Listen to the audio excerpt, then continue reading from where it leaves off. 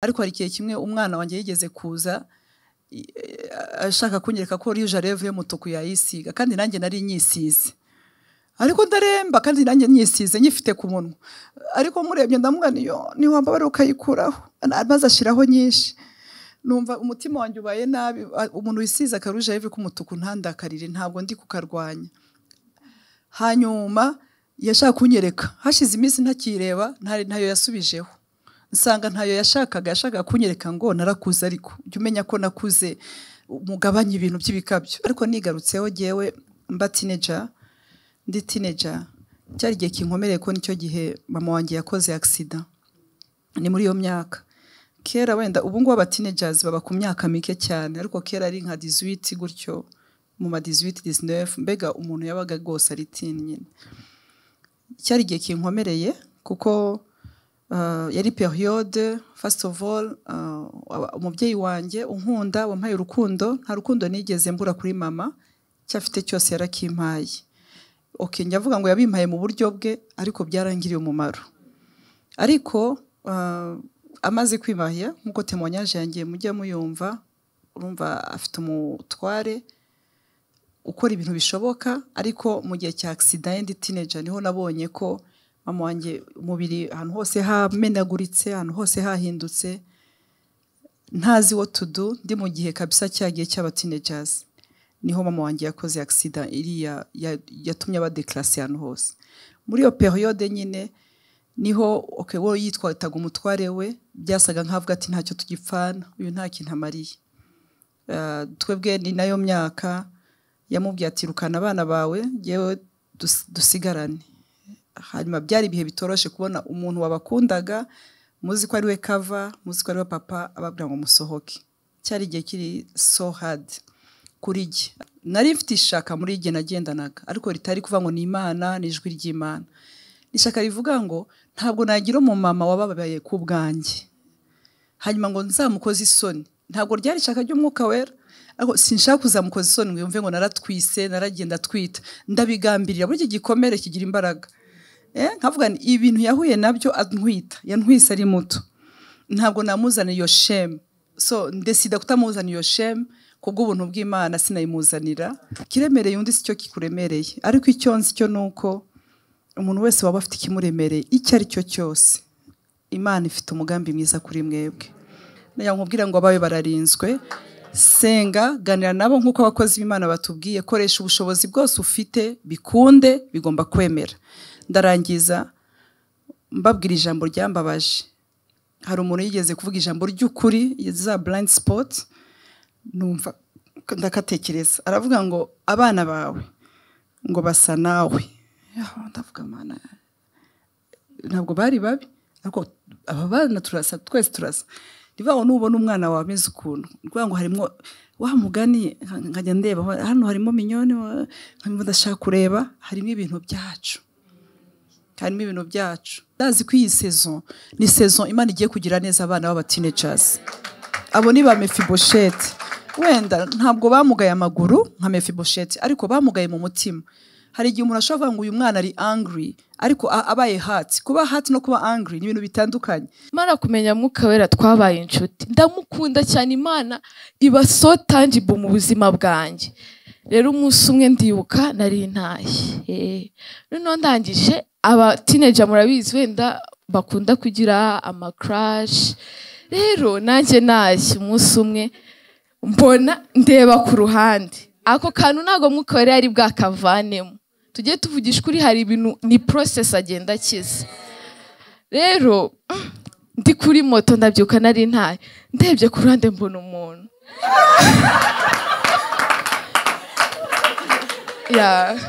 Ndebye ku ruhande mbona umuntu Mm, numva umutima wanjye hajemo kumwadimayaringa noneho ndamureba nongera ndeba imbere.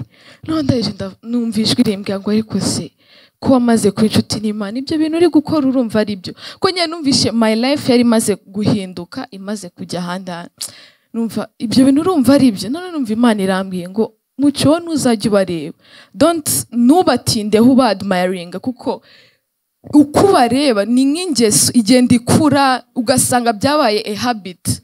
Rero wowe nunabona bibaye wenda uramureba ujye ureba sayidi ndavuga ok noneho ndabikora koko numva ndabyibagiwe. Ariko ndi kugenda kuri moto ndamuga ariko se mana wowe ni ibintu nzabishobora. Making a promise ni imana icyo gihe sinya ndavuga rero mana ugiye kumbera umugabo umbera umutware wanjye. ku buryo ndashaka kubwira n'unkurikiye yageze iwawe arabatoranya. Amen. hariya muri zaburi ya mirongo- itandatu na gatanu haravuga ngo hahirwa abantu imana itoranya. Yamara kubatoranya ikabiyegereza. Ya, si byo suza umuntu ukwegereye umuguti ntiyadutoranyije gusa ahubwo yaratwiyegereje. Yesu ashimwe. Ni umugisha rero ko imana yatwiyegereje niyo mpamvu ihora imenya ibyo dukeneye. Iyo umuntu mwegeranye amenya ibyo ukeneye. Amenya gapu ihari amenya manque d'affection ihari amenya icyo ashobora kukuzuzamo. Ndashimira imana ko atari imana yacu gusa ahubwo ari n'inshuti yacu. Amen. Turabishimiye imana. Rero twakiriye abantu badukurikiye ntabwo turi twenyine abateraniye hano hari abandi bantu dute- du- du- duteranye mureke tubakire imana ibahe umugisha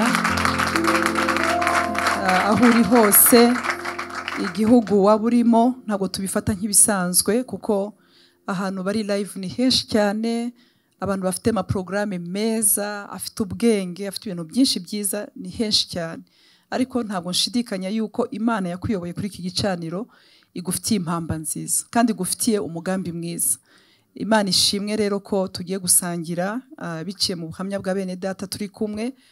Ah, turaza kwakira uza kutuyobora mu biganiro ariko ni umwanya mwiza wo kubakira. Njyewe uri kuvugana namwe ndi apotre mignone umuyobozi wa women foundation ministries ndetse na noble family church.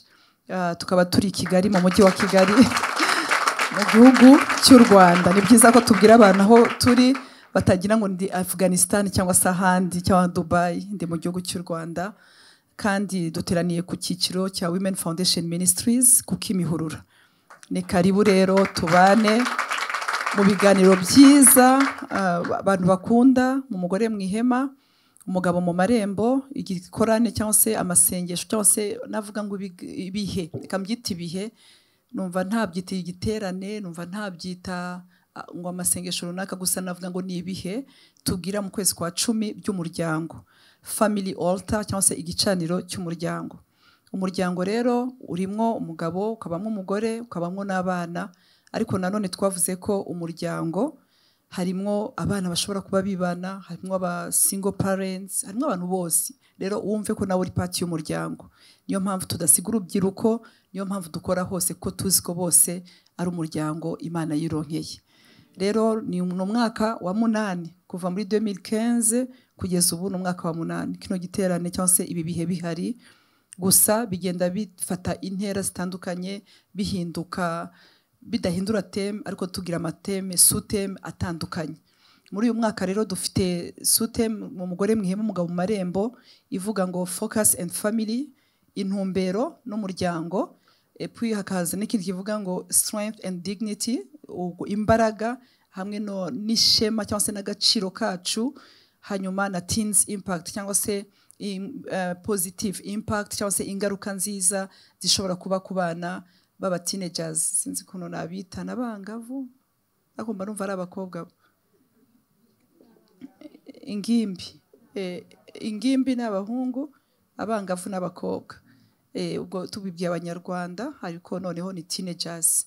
Ubwo ndumva nituvuga gutyo mwibuke ko natwe nubwo dukuze tugeze kubabo mushobora kubona abantu bakuru hano mukavuga uti yo bariya se baramara iki teenagers? Buriya twarahanyuze rero harimo n'abajene turi kumwe uyu munsi. Eh, ese eh, iyi teme tu- tuzayidevelopa gute? Tugenda dukora ibiganiro tukagira igihe tukakira abashakanye tukakira abibana abarera abana bonyine tugenda tubabikira byinshi byiza kandi turizeye ko imana izabana natwe. Ntatinze rero ndabakiriye mwese ngira ngo mbakize inkuru ntoya kugira ngo tubashe guha platform nziza abagiye kutuganiriza twese dufatanyije. Hari umusore witwaga mefibosheti. Mefibosheti yari umuhungu wa yonatani. Ah, njya numva sitori ye cyangwa se inkuru ye inkoraho ahantu. Ni umwana wavutse mu muryango mwiza wavukiye ibwami avuka ahantu hari ibintu bikwiriye. Ibintu bisho- umwana ashobora kuba yagira iyo umwana afite ababyeyi be bahari akaba afite n'ibimutunga afite umuryango mwiza arimo murumva ko ari byiza. Ariko umunsi umwe aho bari bari hitwa Yezereri haza kuza ikintu gitunguranye hazamwo inkuru iturutse i Yezereri ivuga ko sogokuru we witwaga Sawuli umwami Sawuli ndetse n'umuhungu witwa Yonatani ari we se wa Mefibosheti ko bapfuye. Hanyuma umurezi we niko bibiri tubwira mu rwandiko rwa kabiri rwa Samuel kane kane umurezi we yumvise ayo makuru. Umurezi yagize neza kuko umurezi yahise yihutira ubundi abantu b'abarezi ashobora kuza akitwara n'ibindi. Ariko yahise afata mefibosheti. Amuteruye ngo arahubuka cyane arirukanga yirutse ngo bageze imbere amuta hasi. Ari kwiruka amuhungisha. Hari haje ikibazo. Yari haramugirira neza. Ntabwo yari afite gahunda yo kumuheka nabi. Ariko mu kumuheka sinzi ko byagenze amuta hasi. Amutaye hasi aramugara. Amugara amaguru yombi. Ababyeyi nubwo tubyara abana sibyo pasita burya turi abarezi. Kuko turerera imana. Ni imana turerera yego turabatwita amezi icyenda ariko turi abarezi. Kandi turi abarezi bashaka ko abana babo bamera neza. Ariko kuko turi abarezi natwe dufite shuguri ibintu bitandukanye turimo hari ubwo duheka tugaheka nabi hari ubwo duheka tugaheka dufite ibitugoye turi kwirukangana n'iyi si turi mu bintu bikomeye abo duhetse tukabata bakaba baducika tutabizi nk'uko mefibosheti yavuye mu mugongo w'umurezi akagwa hasi. Abana bacu uyu munsi aba teenagers tugiye kuganiriza ah, turashaka kuvuga nk'ababyeyi yuko burya ababyeyi bararera ariko ni abarezi bari limite ni abarezi bafite aho bagarukira. Uyu murezi yahetse uyu mwana azi ko amugeza aho agiye ariko bigeze mu nzira aragwa kandi noneho agiye guhunga bahunze yisanga umwana wavukiye muri environnement nziza. Ari ahantu bita kwa makiri irodebari irodebari urabona ahantu hadafite communication. Nagerageje gusoma ijambo lord de bar. Sanga ni ahantu hatari paturage un lieu sans paturage hari ubwo tugira abana ariko bataha mu rugo pe. Ariko bakisanga bari irodebari ugasanga umwana ni ukuri ataha mu rugo rwiza ariko ugasanga ubuzima bamwe nubwo atabikubwira. Atuye kwa makiri. Ariko imana ishimwe ku mwami igihe kimwe yigeze kuba yicaye. Abaza umuntu atari ko ntawo kwa yonatani wasigaye? Ngo mugirire neza. Ndazi ko iyi sezo ni sezo imana igiye kugira neza abana b'abatinejasi abo ni ba mefibosheti wenda ntabwo bamugaye amaguru nka mefibosheti ariko bamugaye mu mutima. Hari igihe umuntu ashobora kuvuga ngo uyu mwana ari angry ariko abaye hati kuba hati no kuba angry ni ibintu bitandukanye. Ntabwo arakaye ahubwo arababaye. Ese uwo mubabaro wo mu mutima ninde wawumukiza? Ariko dawidi aravuga ati mu ntabare mumbwire. Nta muntu uhari wo kwa yonatani mugirire neza. Kuko uwo muntu ngo ndashaka kumusubiza first of all iby'iwabo byose. Ndashaka kumusubiza identity. Iyo imana ije gusana isana identity. Rero ndazi neza ko muri ibi biganiro hari umujene hari umwana hari imiryango se hari ababyeyi ko tuzaganira ku buryo dufata abana bamaze kuba abatinejazi biragora cyane biragora pe. Ndibuka hari igihe kimwe uh, ngiye mfite abana bamaze gukura barenze iyo myaka y'abatinzi ariko hari igihe kimwe umwana wanjye yigeze kuza i- ashaka kunyereka ko rije reve y'umutuku yayisiga kandi nanjye nari nyisize. Ariko ndaremba kandi nanjye nyisize nyifite ku munwa. Ariko murebye ndamubwira niyo niwambabara ukayikuraho. Maze ashyiraho nyinshi. Numva umutima wanjye ubaye nabi umuntu wisize akaruje reve k'umutuku ntandakarire ntabwo ndi kukarwanya. Hanyuma yashaka kunyereka. Hashize iminsi ntakireba ntayo yasubijeho. Nsanga ntayo yashakaga yashakaga kunyereka ngo narakuze ariko. Jya umenya ko nakuze. Mugabanye ibintu by'ibikabyo. Ikindi gihe ah, baravuga ati bajya muri interna baravuga ariko mwe mutaha iyo muvuye ku ishuri mutaha gute? Ati ababyeyi baradutahana. Abandi bana barababwira ati reka nkubwire burya moto iraryoha. Buriya moto uzapime moto. Rimwe turababura bavuga ati turashaka kumva uko moto imeze. Ntabwo ari uko batagendaga kuri moto. Ntabwo twangaga ko bajya kuri moto. Ariko twarababuze twese bimeze gute. Dusanga bafite umumotari babarinjoyinga so urumva ko hari ibintu bibuza ababyeyi amahoro. Nagize amahirwe wenda sinzi hari undi muvandimwe twagombaga kubana hano eh, kugira ngo tuganirize yigeze ku- kunterefona yataye umutwe. Ndetse ko wataye umutwe ati ceceka ndetse bimeze bite? Ngo abana bagiye gutobora. Ese gutobora ati gutobora amatwi. Yari ameze nabi. Ariko ibyo ni ibintu bisanzwe ni ibintu by'ubuzima. Turaza kuganiza ababyeyi batubwire. Ariko n'uwamugaye mu mutima n'ufite ibigoranye mefibosheti agiye gusubira ku meza y'umwami. Mureke twakire umuyobozi wacu ah, ugiye kutuyobora mu biganiro. Lilian umutesi umutesi kugira ngo atuyobore. Ni karibu abakozi b'imana turi kumwe. Amen. Reka twongere dukomere umushumba wacu amashyi. Turashima imana ko iki kiganiro kibaye kandi kijyanye na teens. Muri iyi season turabyizeye neza ko imana iri butuganirize. Nagira ngo nk'uko yatwakiriye dukomeze ikiganiro Ah, uyu munsi wa none turi kumwe n'imiryango amafamiye amakouple bari bicaye imbere yanjye ku mpande n'indi hano ku ruhande rwanjye. Ariko turashima imana ko turi kumwe na young adults turi kumwe hano turabakiriye on a special note. Murakoze cyane. Ikiganiro kiri bugende neza. Cyaryoshye already. Cyaryoshye kubona abantu twicaranye abantu bari buinterveninge reka duhereye kuri famiye ya Chris na Jojo. Eh, duherutse kumva ubuhamya bwanyu. Ejo bundi? E nako nejo. Twumvise ubuhamya bwabo. Ntabwo bwari ubwa mbere ariko eh, mutwemerere Chris na Jojo turabakunda. Kandi turashima imana ku bw'ubuhamya bwiza mufite. Ariko dusubiye inyuma gatoya mukiri mu bihe urugo rwanyu rwanyuzemo ibihe bitari byoroshye bitari biboroheye eh, wenda muraza kutunyuriramo gakeya kugira ngo abadukurikiye baze kubimenya. Hanyuma ikibazo dufite ese muri muri ibyo bihe ni izihe ngaruka bya- byagize ku bana banyu? Hanyuma nyuma yaho uyu munsi wa none ni iyihe change cyangwa se ni iyihe mpinduka mubona kuri ba bana n'ubundi? Murakoze cyane liliane yesi ashimwe cyane. Munyemerere mbanze jojo aba ari uvuga. Nanjye ndakurikira. Yesu ashimwe. Murakoze cyane mushumba.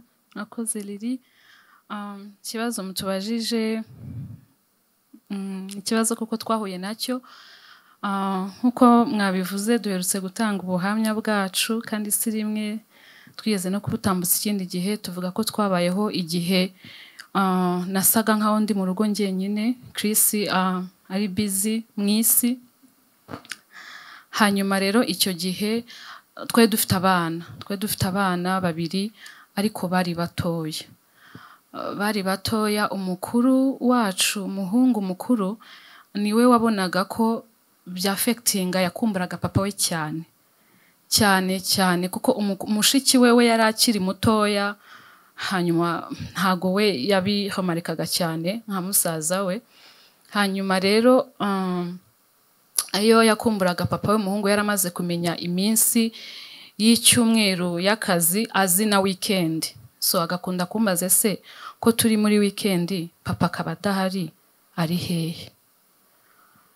Icyo gihe rero biba bigoye kuko uri ushaka nyine ibyo umubwira nk'umubyeyi urumva ntiwabimusobanurira aba ari umwana ubwo umubwira ko ari mu kazi ari buze gutaha mu kanya cyangwa se azaza ejo bitewe n'uko ubona situwasiyo imeze ariko byari ibihe bitamworoheye. Byari ibihe bitamworoheye kuko hari igihe kimwe yajyaga ajya kuryama akancunga akaza gufata nk'umusego papa we aryamaho Eh, noneho nkamazana ise kuki u- ushaka uyu musego? Akambwira ngo harimo oderi ya papa. Donc yashakaga kumva nibura ko papa we ari iruhande rwe.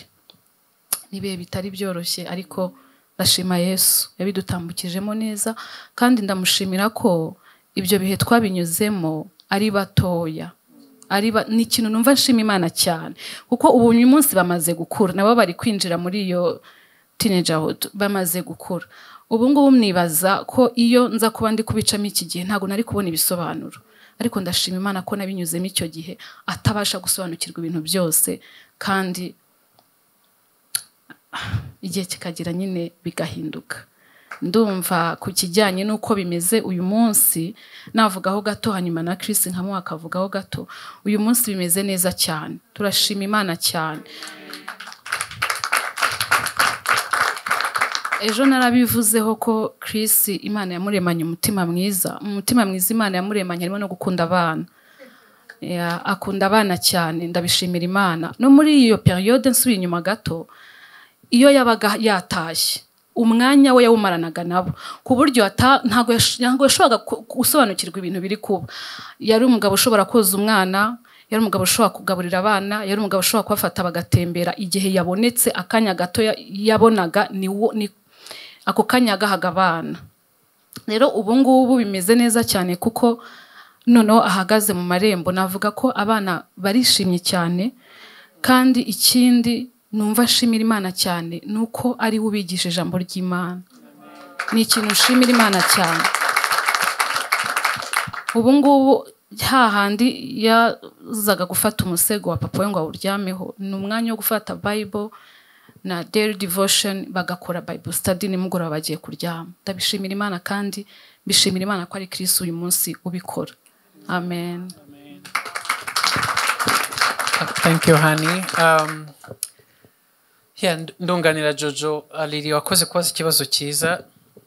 Buriya umugabo utarajya mu marembo atakaza atakaza inshingano ku bana kandi bibagiraho impact. Yabivuze wenda bari batoya ariko reka mvuge gatoya kuri impact byagize ku bana nko kuri uwo muhungu surtout igihe ntari impari ntagiye muri mission ntari mu kazi um, kuko akenshi mama wabo yababwiraga ko nagiye mu kazi kenshi. Bigeraho n'umukoresha wanjye baramwanga. Baramwanga bakavuga bati aka kazi gatuma papa agenda iminsi yose ntabwo ari keza.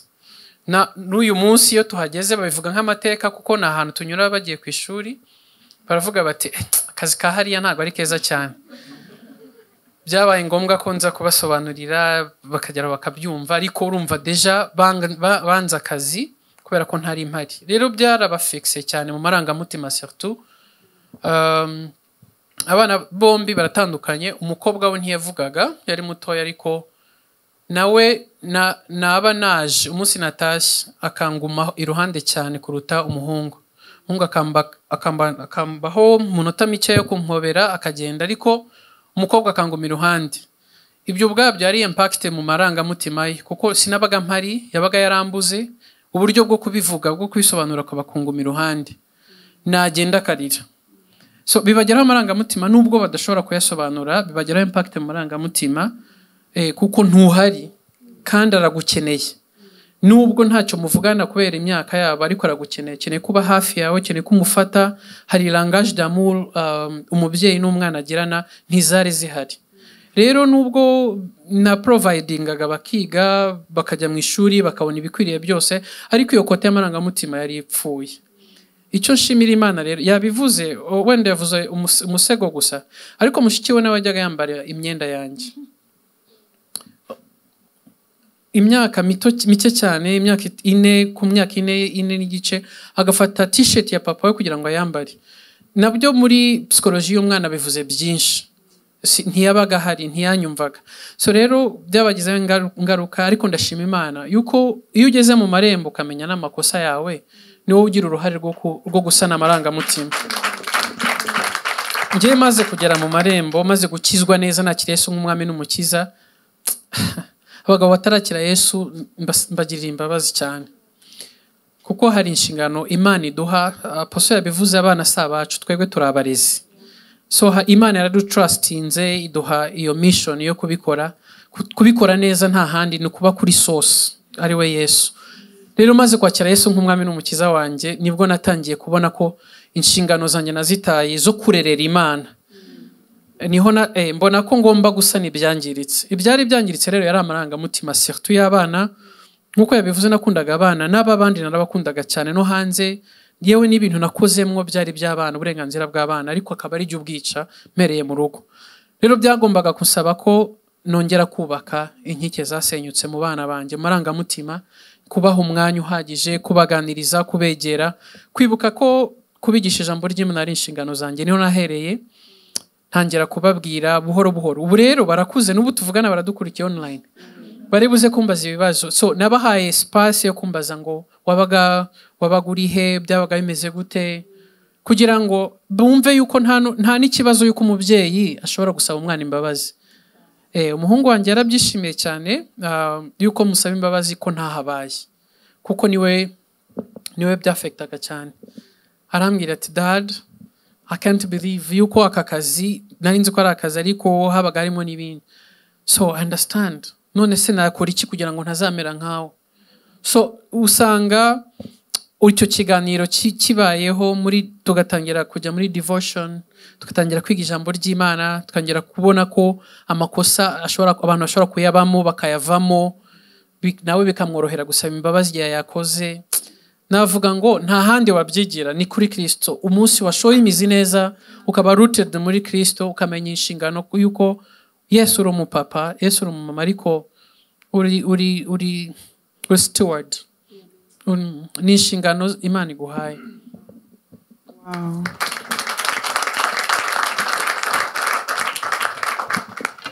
Chris avuze ikintu gikomeye cyane yasabye imbabazi umwana we. That was so powerful ariko n'ikindi kintu numva hari signs wagiye ubona nk'uko gukumbura akambara imyenda wabisobanukiwe nyuma ko byari sign cyangwa se warabibonaga ariko kubera time ntubibi- ukabyirengagiza. Well um, nk'uko nabivuze mu buhamya iyo umuntu atarakira yesu aba ari n'impumyi. Too blind to see. Ntabwo nkubwije ukuri ntabwo nigeze ndomarika ko hari ikibazo muri iyo minsi.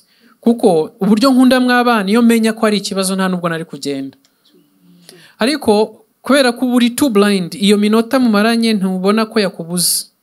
No kwinterpreta icyo kintu yakoze cy'uko akugumyeho iruhande nabisobanukiwe hanyuma. Nabimenye nyuma maze guhishurirwa neza ko ubuzima nari ndimo nari ndi kwica abana banjye. Rero nabibonye nyuma gusa nk'uko Jojo yabivuze hari igihe cyageraga nagarura ubwenge urumva nari under authority. I was a man under a bad authority. Ariko igihe kimwe kikagaruka buriya n'abo bantu bagira igihe bakagarura ubwenge. Abantu bari mu isi hariya bagira bakagarura ubwenge. Nari mbaswe. Rero igihe nagiriwe ubuntu gatoya nkabona ko hari ibi- hari ibitagenda nkumva nshaka gukacinga ariko nkongera nkagenda. Rero maze kwakira Yesu nk'umwami n'umukiza ni bwo navuga ngo namenye neza ingaruka eh, kuko ntangira ku observa ntangira uko mbegera cyane uko mbaho umwanya cyane ntangira kubona ko ibyangiritse. Hari ikintu aposo yavuze munyemerere nkigarukeho ushobora kubona umwana avuga aba- ababa arakaye ko byita umujinya eporta arababaye mu mutima. Ni ikintu nagiye mbona nkabona nka- kareba akagira akambwira akajya mbaza atari ko papa ngira anga ishu nkamubwira ni oya ntabwo ugira anga nabimenye neza ko atari anga ishu ahubwo he was hurt by my absence. Thank you so much. Reka tumukomere mu mashyi. Ababyeyi twige kumva langaje z'abana. Muco seyani duhereye ku buhamya mwagiye muduha hariho struggles mwanyuzemo. Ni gute mwitwaye? Urabona abana bameze neza she's healthy emotionally. Ariko ni gute mwabyitwayemo kugira ngo mu protecting abana?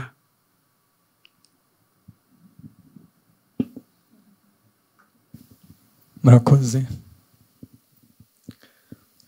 First of all ni uko tumaze ku- kugira agakiza hari ukuntu twabaho. Rero uko twagiye tubaho nabo bari- barimo barakura ariko nabo bagenda batubona. Ubundi ikintu numva nk'umubyeyi no gira inama abandi ba- babyeyi ni uko abana babona cyane ibyo ukora kuruta ibyo uvuga so rero nukora byiza bazigira kuri wewe. That's a very simple sign kwigisha ingene warera abana. uko ubaho nimba ubaho gikristo bazabaho gutyo nimba usenga bazakunda gusenga. Nimba uraba inyigisho cyangwa ukumviriza ijambo ry'imana cyangwa indirimbo nabo uzasanga ari byo babamo. Abana bacu eh, tuvuye i burundi bo baje nta ndirimbo zindi zi- zisanzwe bazi. Nta n'izo bigeze bumva.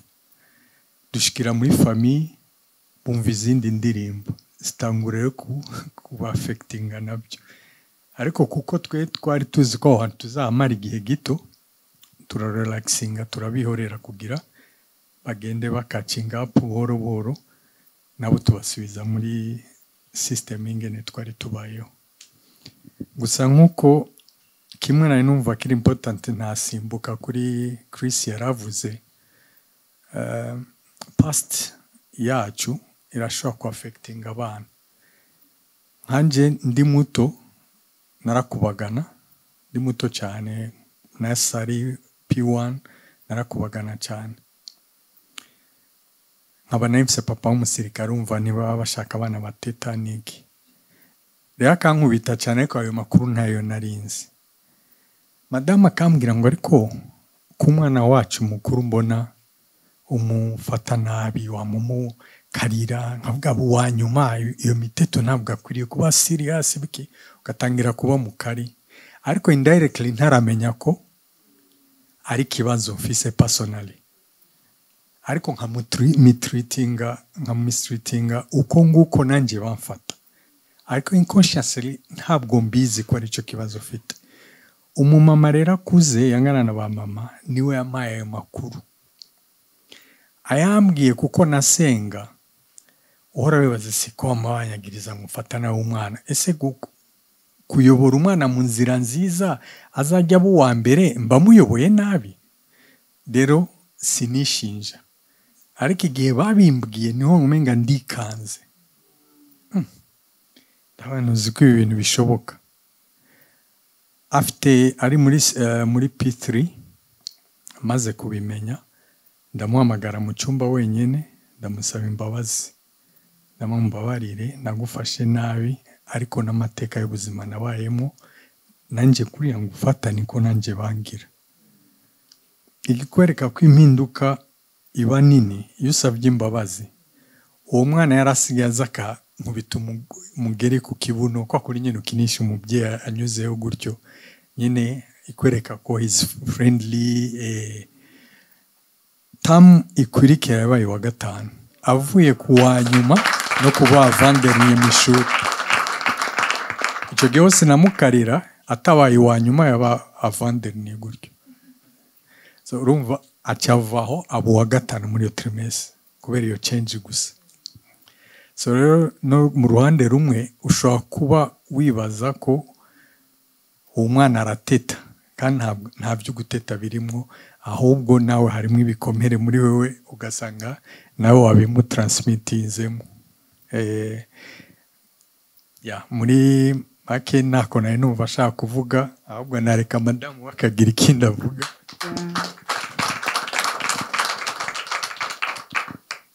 murakoze turabashimiye ubuntu mwatugiriye kutwizera aposo turabigushimiye cyane.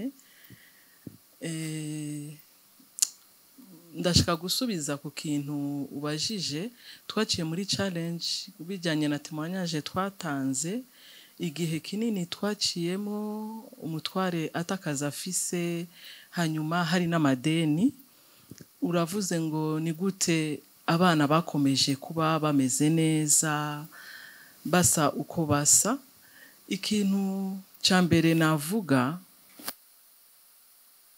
yesu ni ubutunzi. Bukomeye. Shimiye yesu ko uyu munsi dushobora kwicara natwe mu bandi babyeyi tukavuga shimiye yesu cyane kandi ndazi ko ari hano abyumve ko mushimiye.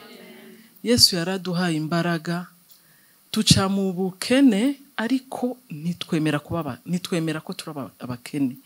Icyo ni ikintu cyadufashije ntabwo njye n'umutware wanjye twigeze twakira ko twabaye abakene. Byabuze ariko ntituri abakene. Noneho icyo ntiwakikoresha ibintu byose bifunze dufite abana. Igihita gikurikira iyo yesu ari santire hori sipiriti aba ari aho hafi akaguha ubwenge. Yampaye ubwenge ukuntu nafasha abandi bamama bariho baraca mu bihe bigoye by'ubukene yampaye ubwenge bw'ikintu. Je harageze ahantu abakozi bose ndabirukana. Ndabirukana atari uko ntashoboye kubagaburira sinashaka amakuru yanjye abantu bayabona hanyuma jewe nkajya njya mu gikoni. Urabizi iyo ubyikorera n'iyo byaba ari iki? Kaba keza. Noneho nkagategura n'ibikabyo bo bagakomeza babona ikizungu utuntu twiza ariko ntibabone ko byanze. Ndibuka ko abana bacu higeze kuba periyode bose bagiraga impuzu zibiri zibiri e- ebyiri ebyiri udakuyemo twa tundi udupinjama tundi ariko izo kwambara ni zibiri. Ariko ndabizi ko batigeze bamenya ko bigeze kugira impuzu zibiri zibiri. Kubera iki? Naravuze nti ibi bintu biratwinjiranye. Reka noneho njyewe mbemo mbijere. Ko nimbijera ndamenya uko mbifata. Icyo rero kiragenda kiraduhishira ku buryo abantu bajya bavuga ati shamwe muranakize. Noneho hakaba na mwuka wera rero muramuzi. Nkapanga nkavuga nti tubakure kuri ririya shuri tubajyane ku rindi riciriritse rigewe reka mbabwire ntiyadutumagaho ngo atubwire ngo ndaje mbitunganye. Oya yadutumagaho avuga ngo aho mugiye kubajyanaho murayafite. Niba muntegereje nimuntegereje no kuri ayo. Ntitwahinduye ishuri bakomeje biga hahandi abana bakabyibuha. Nyine hari ukuntu uri umumama. Ari na dodo umenya ukuntu urazipodora eh? icyo rero navuga ko ni ubuntu kandi bikaguha no guhishira umutware wawe kuko babwira abadamu dufite imbaraga. Iyo uhwereye wa apfa kabiri. Eh, rero naranavugaga mu nzu nk'ikengeri iwacu hahoraga hashushe. Kuko nagumaga mvuga akarangara yariye utwo yagize iki noneho nkamwibutsa agakunda atubwira agakaye rero ngo imana yavuze ibiwe. Nambwa ni dore arangiza akabwira abantu ukuntu azabatwara muri vakanse twangira ubukene ko tuba nubwo byanze ariko twanga kuba abakene. Nicyo cyadufashije ego imana iduhana umugisha amen. Wow. Kubera ko turi kumwe n'umwana wabo twagira ngo duhite ko tumwakira. Nawe aduha experience. Yagize eh, ari muri uwo muryango ari muri urwo rugo. Aduhe adusharinga experience yiwe. Yesu ashimwe. Um, ikintu cya mbere natangira mvuga ni uko wenda ntangira aho bari barangirije. Uko ndibuka ko papa muri demi dijiti akazi kiwe yari akavuyeho nyine noneho twese araduhamagara mu cyumba aratubwira ngo ubu ngo imana ngo igiye kudukorera ibintu bikomeye kandi igiye kudutungisha cyane. Ngo rero ngo nimwizigire mwibagirwa ahantu mwavuye. Rero ko hangiye nkunda kugira imagination nyinshi. Ni imagina twabaye ababosi ndabavuga eh burya najya kwimagina imodoka nkazajya mvuga nzajya mbona abana mu muhanda kabisa mbafashe sinzibagirwa. Nicyo gihe rero twese twinjira muri iyo situation. Ikintu kindi navuga nazigera nibagirwa mu buzima kandi imana ishimwe ko um, nibagiye gushima ko nabaye ndashimira umushumba cyane ko yaduhaye this opportunity yo kuvuga imana kandi n'imana yadushoboje kubaha. Yego. Ah, ikintu nashaka gushimira ababyeyi banjye um, papa kuri iyo side mama nawe. Mama ndibuka ni we yakora. Hanyuma malgré yuko akora akajya ku kazi yaza arushye akava wenda nka 20 heures ntibyamubuzaga kujya mu gikoni nkabona ari guteka noneho nkajya nibaza none se mana papa ni gutya mu rugo nyine ko naribazaga nawe ni gutya biba bimeze umupapa aricara umumama akaza eh, agakora. Rero kubona mama ava ku kazi akaza agateka agateka neza akanadusetsa. Noneho hari ibintu ura nk'uko twabivuze abana buri gihe barareba kandi bafite bo na limits ziba muri minds zabo bo bareba kure. Noneho nkazayandi nkavuga mana niba mama akora ibi bintu nanjye byazanye ikintu cyo kuvuga. Kubera numvaga nyine ok sinzi ukuntu nabivuga gusa ah, yuko nanjye maka y'ibizaba byose ko hari icyo nigiye kuri mama ko ibiba byose mu rugo ntabwo yajajinga ngo ntiwakoze iki? Ariko ugakomeza ubona umuntu ava ku kazi yaraza agakora. Icyo kintu cyabaye isomo rikomeye mu buzima bwanjye. Hanyuma ah, ikindi nashaka gushimira papa wanjye cyane kandi ndamukunda. Ndibaza ko ari bwo bwa mbere mbivuze. Kubera mu rugo eh, turifata ama emosiyo ntabwo tujya tuyasohora cyane. Ya nakuze turi ah, nakuze ndi umukobwa umwe. Mu bahungu babiri um, agapetite sœur kanjye kaje nyuma. Rero nkura aba brothers banjye barakunda gutsinda cyane mu ishuri n'uwo mukuru papa yavuze. Ariko njyewe nahora mu ba nyuma. Nkahora mu naba nagerageje nkaza nk'imbere y'uwa nyuma nyine urumva nabaga nakoze ibitangaza. Ariko twese tukajyana amabirita guperezanta kuri papa na mama. Hanyuma papa akabona umufurere wanjye mukuru. Akambwira none se wenda yabaye nk'u- nk'uwa nefu yagombaga kuba nk'uwa gatatu. Akambwira byagenze gute? Kutakuze cyane. Akagera n'uwundi mutoya wanjye nawe ankurikira ko yanjye ndi uwa kabiri. Akagera n'ukundi muto akambwira wowe byagenze gute? Ariko yagera kuri njyewe nkabona abaye pose akambwira none se muco byagenze gute? Aha ni gute byagenze? Akoroha cyane akanyorohera. Icyo kintu imbere y'imana ndakimushimira kuko kuko njyewe nyine urumva icya mbere ni abahungu ubona bakurusha n'ubwenge. Iyo ikintu nenze wo muri famiye ni ukugira impuhwe nakunda abantu nkazana abantu mu rugo ni byo nyine ni byo bari banziho. Ntabwo baba baravuga uriya ni uw'impuhwe nyine. Ariko nyine nta knowledge ubwenge bwo mu ishuri nyine ba bantu baba bari eh, sinzi intellectuel. Hanyuma akanyorohera. Rero ikintu nshaka kuvuga ni iki? Teenagerhood yanjye kunyohera gutyo kwa papa byatumye hari ibintu bimwe kandi cyangwa byinshi bikomeye nta- ntakoze. Kubera ko buri gihe iyo nabaga wenda tuvuga urabona hari ukuntu iyo uri gukura muba mufite abashuti amagurupe bavugaga eee reka tujye hanze dukore iki? Njye nahitaga nibuka papa. Na mama. Kubera bantera impuhwe cyane ndabakunda cyane n'imana irabizi.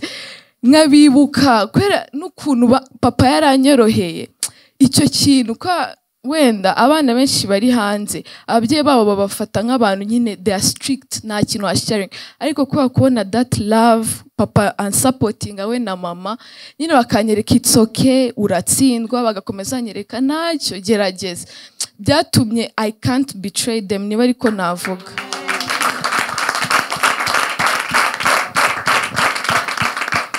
Byatumye numva hari umufrendi babaye abafrendi rero a friend uba wumva ntabwo wamubiceyinga ya ya ni cyo nshimira papa. Hanyuma mama nawe eh, ndamushimira cyane urema we turaganira cyane. We ni uwundi mufrendi ariko na papa. Papa urabona aracecetse ariko andika umutima vrema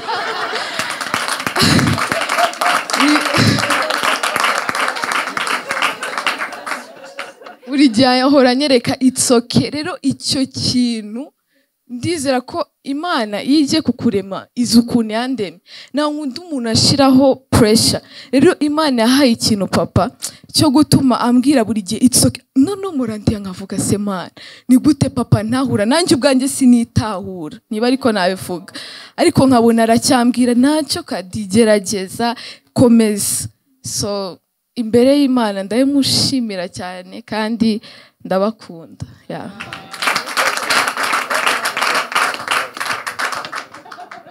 Aranyibukije ah, urumva iyo jani ndizera ko narengeje iminota. Ah, muri iyo jani naje kumenya yesu. Ariwe nagira mvuge n'abana badafite ababyeyi. Urabona papa kunkunda na mama. Hari ahantu batari bwagere indani. Kuko iyo yesu aje we ajya inside you. Rero menya mwuka wera. Mwuka wera icya mbere. Nababwiye ko natsindwaga mu ishuri ariko natangiye kuba mu ba mbere.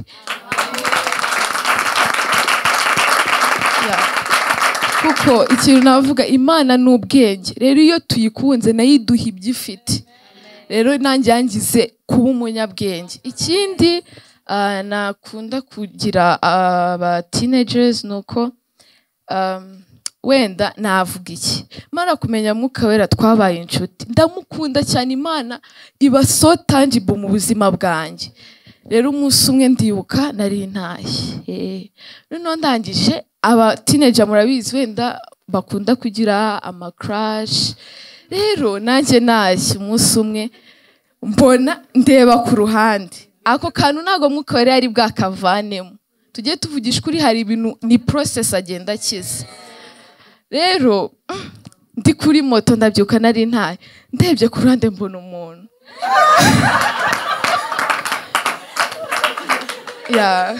Ndebye ku ruhande mbona umuntu. Numva umutima wanjye hajemo kumwadimayaringa noneho ndamureba nongera ndeba imbere. Noneho ndaje nda- numva ijwi rimbwira ngo ariko se ko wamaze kuba inshuti n'imana ibyo bintu uri gukora urumva ari byo. Ko nyine numvishe my life yari imaze guhinduka imaze kujya ahandi numva ibyo bintu urumva ari byo none numva imana irambwiye ngo muco ntuzajya ubareba. Don't ntubatindeho ubadmayaringa kuko uko ubareba ni nk'ingeso igenda ikura ugasanga byabaye a habit. Rero wowe nunabona bibaye wenda uramureba ujye ureba side. Ndavuga ok noneho ndabikora koko numva ndabyibagiwe. Ariko ndi kugenda kuri moto ndamuga ariko se mana wowe ni ibintu nzabishobora. Making a promise ni imana icyo gihe sinjya nyibagirwa. Ndavuga rero mana ugiye kumbera umugabo umbera umutware wanjye. Ku buryo ku buryo ninzajya ndeba undi muntu. Nzajya menya ati mfite umugabo? Reka reka ibyo bintu ntabwo wabikora muco wowe ufite umugabo wawe arahari. Rero nuko naje byaraje kugenda koko nkazajya njya n'ahantu nkavuga ati "Mm." nareba umuntu nkavuga uribuka ko ufite umugabo? Nkahita nkahita mbyihorera so kandi ikindi ikindi kintu nabwira aba- abantu turi muri eji imwe ni uko niyo binakugoye komeza ubwire imana mana mfasha tureke kumva ko uri umunyabwenge stop kwakitinga wise ku mana wumve eh akanda kishoboye. Surrender all to him.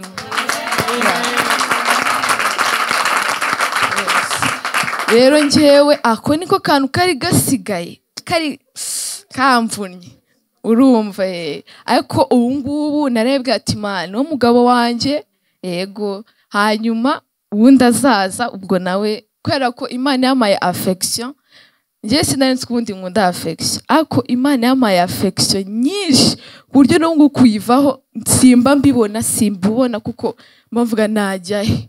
Rero ndayishimira kandi ko yanambereye n'umugabo mwiza.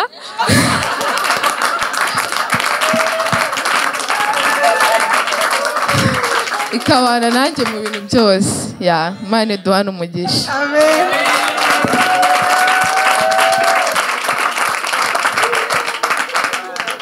Ah, ni ukuri. Aposo ndagira ngo ah, mutwemerere kuri aya magambo ni couple ni famiye amagambo akomeye itubwiriye. Mugire ikintu mudusharinga eh, twumvise mama uburyo yahagaze kandi muyoboye abagore benshi you have mwumvise abadamu benshi banyuze mu bikomeye kurusha n'ibi. Hari hari icyo mwatubwira eh, cyiyongereye kuri kuri experience baduhaye umushumba ku bwanjye ndi gufashwa numvaga twakomereza hariya hirya wasibyibura ngatanga iyi time nkatu- nkaza gukomeza nyuma. Ko ngiye mfite byinshi nabasha gusharinga ariko numva biri kundyohera sibyo? Urabyumva ute lili? Vuga mwavugaho ijambo. No ngiye ikintu kinkozeho osiyani ari kuvuga wawu navuze ngo mbega ubusabane bw'umuntu n'imana. Umuntu iyo afitanye ubusabane na kirisito urumva ko ababyeyi be bakoze ibishoboka. Ariko noneho kumenya yesu byujuje ibintu bikomeye. Na hamwe hari vide agira ubusabane nawe akagenda amubwira uko, yabyitwaramo. Rwose numva numva nyuzwe gusa. Abamama bo ndaza tura- turakomeje turakomeze tuganire ariko ndu- ndumva bakomeza. Thank you apostle. Reka tumukomere mu mashyi. Tukiri kuri iyo personal relationship. Twakiriye queen turi kumwe na queen turakwakiriye. Twagira ngo nawe um, ufite experience yawe na mwuka wera ufite personal relationship n'imana yawe hari icyo wadusharinga cyakomeza cyasubizamo imbaraga mu youth uri kudukurikira cyangwa se n'umubyeyi uri gusengera n'umwana we utaragera aho ugeze uyu munsi. Haleluya haleluya Um, nakunze byose yani yavuze. Nafashijwe cyane. Um, I can say um, kuva kera kera cyane nkiri uh, very nkiri muto nakundaga yesu cyane. Ariko nakunze yesu kubera mama. Nta nubwo yabishyizemo imbaraga nyinshi. Sinzi ukuntu nabivuga. Ku buryo when, when, I want, when I become a mom I want to be like my mom. Kuko. Nambaraga yabishyizemo raising me mba she was so relaxed. Sinzi ukuntu nabivuga nta byo kugira byose yabihaye yesu. Nkakora ikintu akavuga okay if you like it it's okay I'll tell God you will change your mind. Kandi nkabona after days kuko I've changed my mind. Nkabona byose she's so relaxed. So ukuntu nabonaga ibintu byose mama wanjye abihaga yesu ibiryo yesu inkweto yesu imyenda yesu I was like okay nanjye nzajya mvugisha yesu. Wenda nanjye byose yesu azabimpa nk'uko abiha mami Eh, ariko atabishyiramo imbaraga nyinshi you know for, for the sake. So nanjye nkiri muto nkagenda nsaba ibintu yesu nkabona oh this is real. Yesu ari kubikora.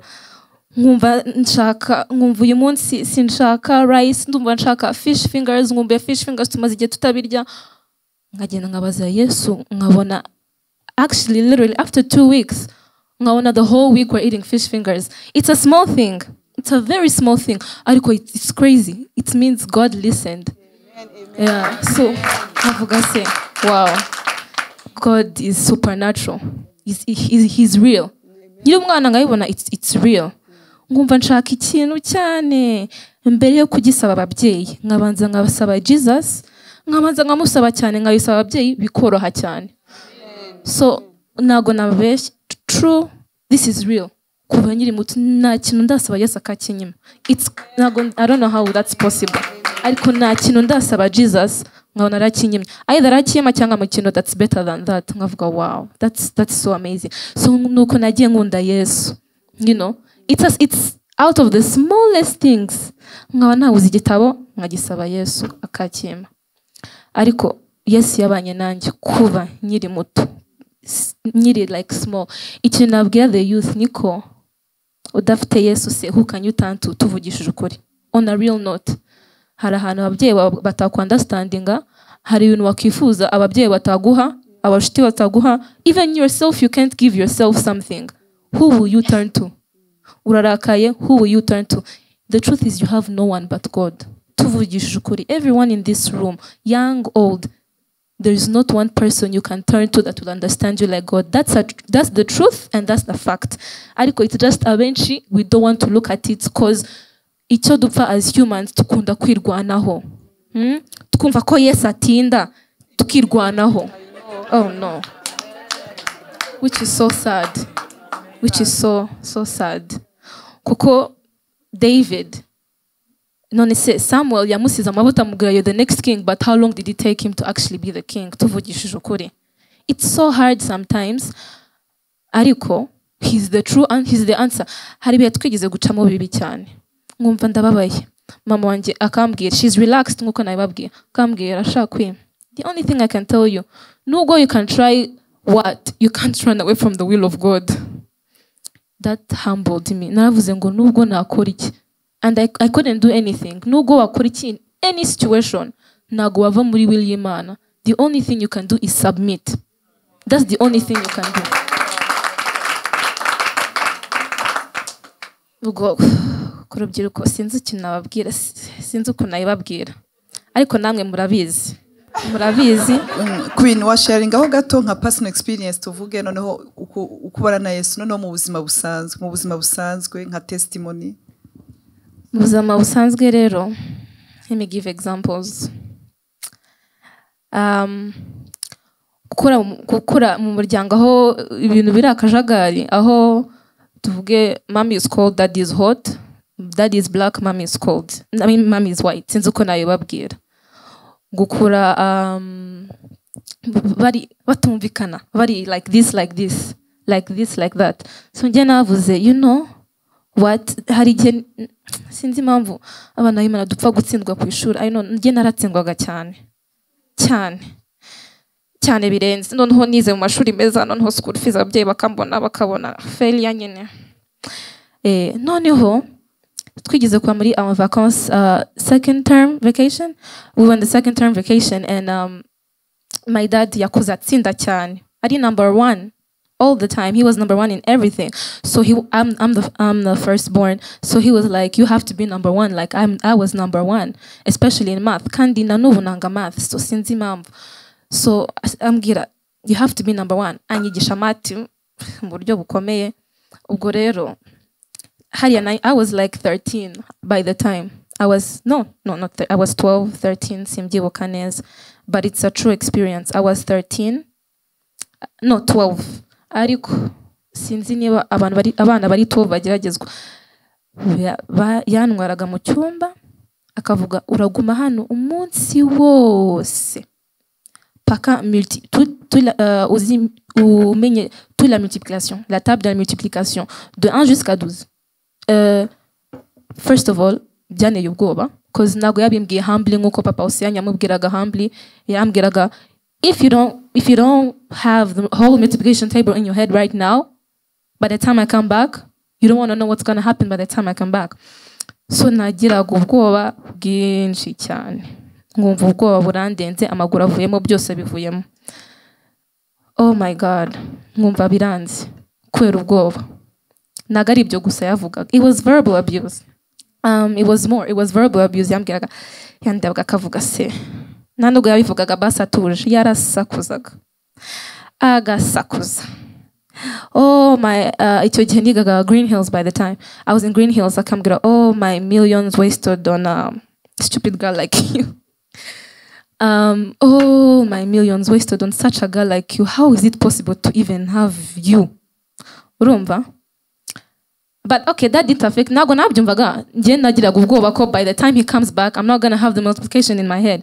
So nkagira ubwoba bwinshi cyane I was like oh my god do mama atahari mama niwe basi wamuboraga akambwira it's going to be okay because she knew if she came in the way they would fight. Which which I understand. So agahaga akicara but she would pray basi but it was torment. Akagenda agafata a book an english aka, an english book a mathematics book akayishyira mu cyumba akamushyira hariya akavuga you're gonna study the whole day. You're not gonna get out of this room until i come back. Nkicara njyewe mfite ubwoba. Nkicara nabuze icyo mvuga. Nkicara nibaza se. Nkicara ngavuga harya yanyise stupid bogus yanyise nkavuga ibintu byinshi. Noneho nkamara umunsi wose koko ndi muri cya cyumba. Ariko nkasenga narasenze ndabwira yesu. True story mbwira yesu. God i'm 12 and my heart is paining. I'm in so much pain for what? Urumva? I'm so heavy. I don't know why i'm heavy. And god if you don't take me out out of this room out of this house now only you know what will happen. I didn't know what was going on. Numva god is this normal? Urumva ariko nzi ko god is listening? Because njye nabonye ama experience nzi ko god is listening. Ariko numva ndemereye numva nzi ko by the end of the day if i don't have the multiplication table in my head i don't know what's going to happen. It's a, it was like a threatening situation nkaho ngiye gupfa mbese. Numva nazi numva ngiye kugwa ku buryo nahagurukagaho gato going to the washroom ariko nkumva my legs are trembling. Nkumva I'm, I'm, I'm fearing a lot. I have so much fear ku buryo narwaye. I, think imana yandinze kurwara pressure pe. Nkumva biranze nkumva amaboko yanjye ameze gutya nkumva biranze. Uwo munsi imana iransevinga papa avuga it's late by morning I want you like this. Ariko sinzi na- nkaseka nkabwira imana only if you do this for me nzamenya kuri imana. Ndabimenya if you do this for me. Sinzi ukuntu wabikora.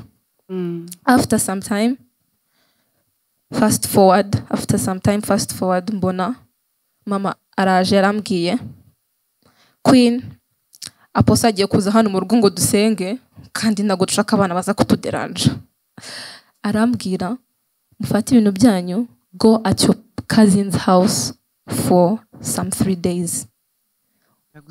Imana iransubiza. Wow. That time imana mpita mbona ko imana induhuye. Amen. Ngiye nubwo ari iminsi itatu nararuhutse. Yibagiwe Eh, nta nubwo namaze iminsi itatu namaze icyumweru cyose by the grace of god. Amen. Wow.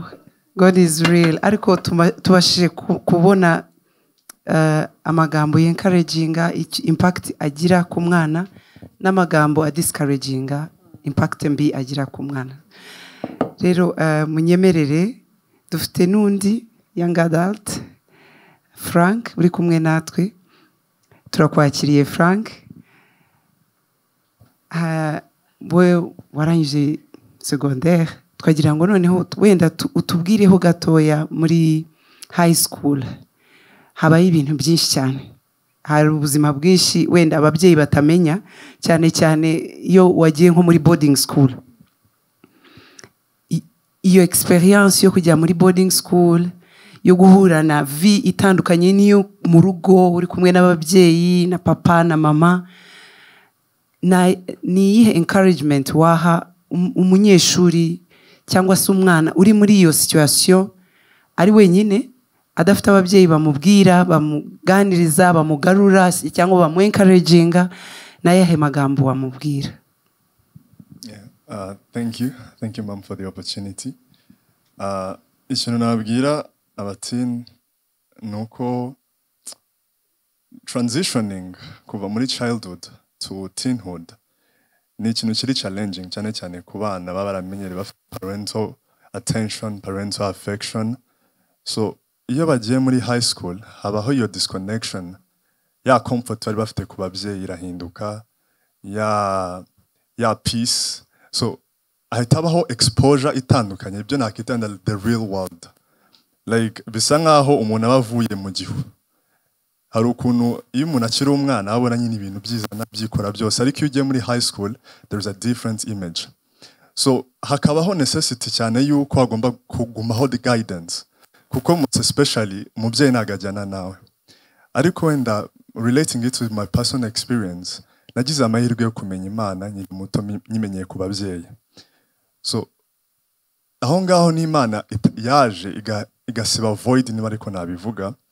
Noneho kuko when, when, when a childhood when a child is transitioning to a teen hatangira kubaho uh, lack of identity. Like you start figuring out who am I. Uh, ubona abandi bahinduka babarebure kuva abandi ngo babaye barebare abandi babyibushye. So exactly. Yeah so urumva habaho discovery kuri buri muntu kuri buri mutini. So bigatangira kurizinga sometimes worries ugasanga hari umeze gutya hari umeze gutya hari uwo bari kwa farminga so ugasanga mu by'ukuri bizanye ah, ubwinshi bw'ama worries. Ariko ku bw'amahirwe nagiriye yo kumenya imana nkiri muto namenye navuze ati uko bisa kose nabonye mama asenga avuga ati mana mana mana avuga ati "That- iriya mana mama yagerageje reka nanjye nyigerageze so ku bw'amahirwe ngiye kumenya imana kwanjye it was on an emotional level. So imana yaje feeling a void yo ku yo, kuba disatashi you, know us boys with our mothers eh? there is something. Yeah so iyo iyo iyo connection iyo connection niyo nuvuga mbwa ati man nkumbuye mami. Man nkumbuye mami. So imana sinzi ukuntu yabigenzaga nkahita noneho numva niyo mungiyo niyo mungiyo niyo mungiyo so within that stress no kuba umutini of course ijambo ry'imana ujya kumva ati "Niryo- buzima ry'umukristo gutyo gutyo. Nibwo naje kuvuga ati se okay ikintu cya identity kuko ikintu baba batubaza cyane muri high school who's your role model? Who do you look up to? So ugasanga eh, ni gake umuntu uvuga umubyeyi. Kandi iyo uvuze umubyeyi abatintu tugira ikintu okay nabonye rero ariko icyo kintu kibaho cyane ku batini aho habaho ikintu cyo kumva ko eh, ndi gukura nk'uko mama yabivuze ndi gukura hari ukuntu ushoboye i can manage eh, so far i've managed this without my father without my mother so definitely there's i can sort out some things by myself. So ugasanga habaho ikintu cyo kwigomeka indirectly. So muri ubwo buryo rero habaho ikintu cya lack crisis identity ariko kubw'amahirwe ari ukuntu imana kubw'ubuntu bwayo niyo mpamvu ati it's by grace irakugarura. Irakugarura ikakubwira ati ikagutwara mu ijambo. Noneho kuko hari ijambo rigeze kumva avuga ati se now my worries are becoming too much. Rimwe baza kwigisha baravuga ati do not worry. Hari scripture muri luke 12 chapter 22 kukomeza. Aho jesus avuga ati guys do, not worry. Abwira aba nza gufata umwanya kuyisoma mbona ukuntu yesu yabwiye aba, aba, ati guys do not worry about your the food do not worry about the clothes do not worry about so njye noneho nahitaga neminga ama, ama lacks nagendaga mbona ama worries nabaga mfite so I said okay Jesus so I shouldn't worry about this none se if I can't worry then what should I do niho niho then nyuma munsi yaho Jesus atabwira ati rather ngo seek ye first the kingdom and his righteousness, and all these things shall be added unto you. Natunguwe cyane nuko Jesus didn't say you even ask. These things shall be added unto you. Ngo kuko naso mu ijoro arabizi ko mubikeneye kuko nibyo n'abapagani bakeneye. So then I said, God, then what's, what's the issue? You want to give me things but I can't receive them. Ariko Yesu yahise avuga ati, seek ye first the kingdom. Urumva nakomeje kubaza icyo kintu ati ubwami bw'Imana ndabukura he? Buri he? Where am I getting it? Again by God's grace. Sinzi ukuntu naguye kuri Bible ikigira ikivuga uburyo about when it comes to the uh, kingdom of God naza gusanga basobanura ngo it's what we call basileia. Basileia means nam- namwe ari n'ahantu. It comes as a royal priesthood, identity, like sonship yo kuba umwana w'Imana. Oh, so I ati, okay, so Jesus told me, seek you first who you are in me. ndavuga ati okay so by knowing my identity nahise mvuga ati oh thank you jesus so navuga ko imana yamfashije kuba attached mu ijambo irakwigaragariza so coming back to my uh, fellow young brothers and sisters it's crucial i'll be honest naho ndi bunyure hirya cyangwa kuri it's crucial to be rooted mu mana it is so crucial to be attached to god in your vulnerability, in your weakness. By the way, naje gusanga, there is strength in weakness than there is in strength, actually. Yeah, winding up, Paul yaravuze ikintu aravuga ati ngo, I'm way strengthened when I'm in my weakness. So navuga ati okay, so iyo mfite imbaraga, noneho aho nafite imbaraga Yesu yahaje ahita hasumba hahandi. So nahise mvuga ati, okay, now I'm going to be fulfilled by Christ. So bishatse kuvuga ngo, nk'uko uh, my sister said, it's crucial that we surrender unto God. we surrender because now we shall be refilled so kubw'ibyo rero as a result ni ukuri ibintu by'abadoresa kwa kundi ngo umuntu avuga ati ngo nabaye tried n'ibi ngibi ntabwo nigeze mbya experiencing I didn't bother with the flesh cyane ibyo biza nyuma ahubwo utangiye gukura I didn't sinagize icyaha cyo gutukana cyo gukora iki cyo kujya n'abantu babi kuko hari ubuntu bw'Imana buba ku just like that according to the grace of God so icyo nabwira umutini mugenzi wanjye ni uko please be friends with Christ do your best in your weakness. Just pray, be unto Him. It's not about wisdom, it's not about mighty or power. What? It's simply by the Spirit of God and humbleness. Thank you.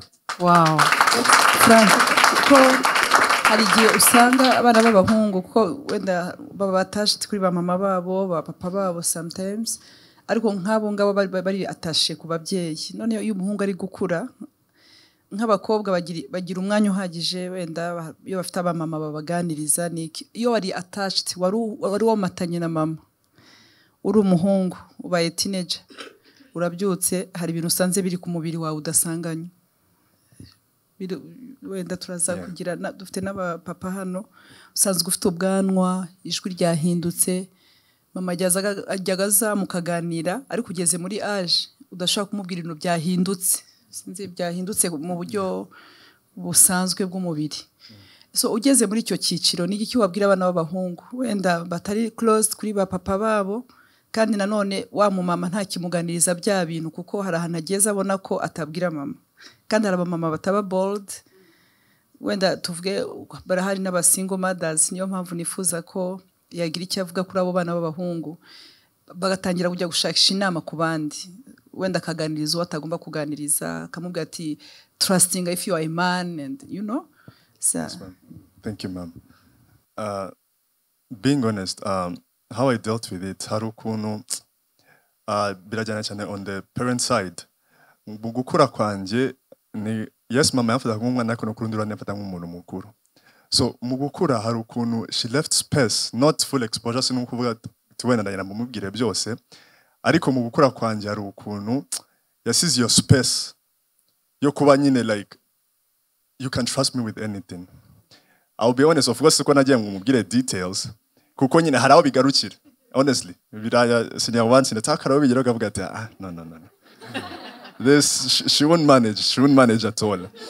Yeah, so uh, ahubwo ikindi kintu cyahise kibaho nuko yeah, honestly, hari aho byageraga avuga ati mm, I won't. Yeah, so of course I would always stand to God. I would say God. Sino kuvuga ati ni ni ibintu uh, wibazaho cyane kuko ni ibintu bitungura umwana pe sometimes exciting you be just say is it the same thing for you the same thing for you akavuga ati oh yeah so andi mahirwe nagize ni uko you know there is something about being with Christ. Akumenyera buri kimwe aguha za nshuti. Aguha inshuti kuko amahirwe nagize I had the right environment. Honestly speaking I didn't seek for it that much ariko I say it's by grace. Ni imana ikumenyera uburyo nyine when you give your life to Christ he makes sure yuko at least nyine it's called of Christ so mu yandi magambo navuga ngo ku batinzi environment is really crucial. Kuko buriya niba ari n'ikintu giteza ibyo bibazo byo kumva ko hari ikibazo nk'uko mami wrong association. Kuko hari n'ukuntu iyo the right association uva ko ari nyine. The guys tell you okay it's okay no worries. Ariko iyo habayeho wrong association aho niyo ibibazo bitangira kuba. Yeah ariko the answer again i don't know if i can say the answer again is jesus sinzi wenda sinshaka ko biba so complicated cyangwa mu kubyumva ariko mu by'ukuri uh, for the teens who's currently having this, uh, those things cyangwa uri ku experiencing iyo change mu mubiri reach out to your brothers. Reach out to your brother. Uh, you can even relate. Just monitor monitor your association. It's very crucial. Ariko urumva biragoye gusobanura ikintu cyakozwe n'ubuntu bw'imana. You can't find the explanation for it ariko icyo nzi ko nuko ndishwa neza nuko igihe cyose nk'umutini wifatanyije n'imana trust me there's always a way there is always a way out you not have to worry about that ntabwo bizaba issue thank you ma'am Amen. Wow, wow. Eh. Atuka, the future is bright. uh, famille turi kumwe twagira ngo mutuganirize nk'abantu bakuru bari hagati muri twebwe. Ah, hariho experience experience toujours. Hari ikirusha wenda abatoya twe turi bato? Ariko hari ibyo mwagiye mwumva mwagiye mubona mu myaka yanyu mwabayeho mushobora kongera kutubwira kutuganiriza. Hari ikintu kibaho mu batinzi bumva ko ababyeyi batabyumva. Like ntabwo ari aba dot com ntabwo bari bubisobanukirwe ariko which is i think wrong baba barabinyuzemo ahubwo. Wenda ntibabivuga muri langage yacu ariko baba barabinyuzemo bafite experience batuganiriza baraganirije ababyeyi batandukanye twagira ngo tubumve. Ndaza kwihuta kugira ngo mpite nakira na pasiteri jean gakwaya afite abuzukuru ubu bageze mu gihe bafite abuzukuru. Eh, dufite na- karine turi kumwe ko ndibuka na- antere- ni we nababwiraga mu kanya anterefona ati mfite ikibazo gikomeye cyane. Gikomeye ariko? Ni karine kimeze gite? Ati abana bansabye gutobora amatwi. Cyari gikomeye. Ubundi muri counseling baba ko nta kibazo ugomba korosha Eh, nta kibazo ugomba gufata nkaho cyoroshe cyari gikomereye karine.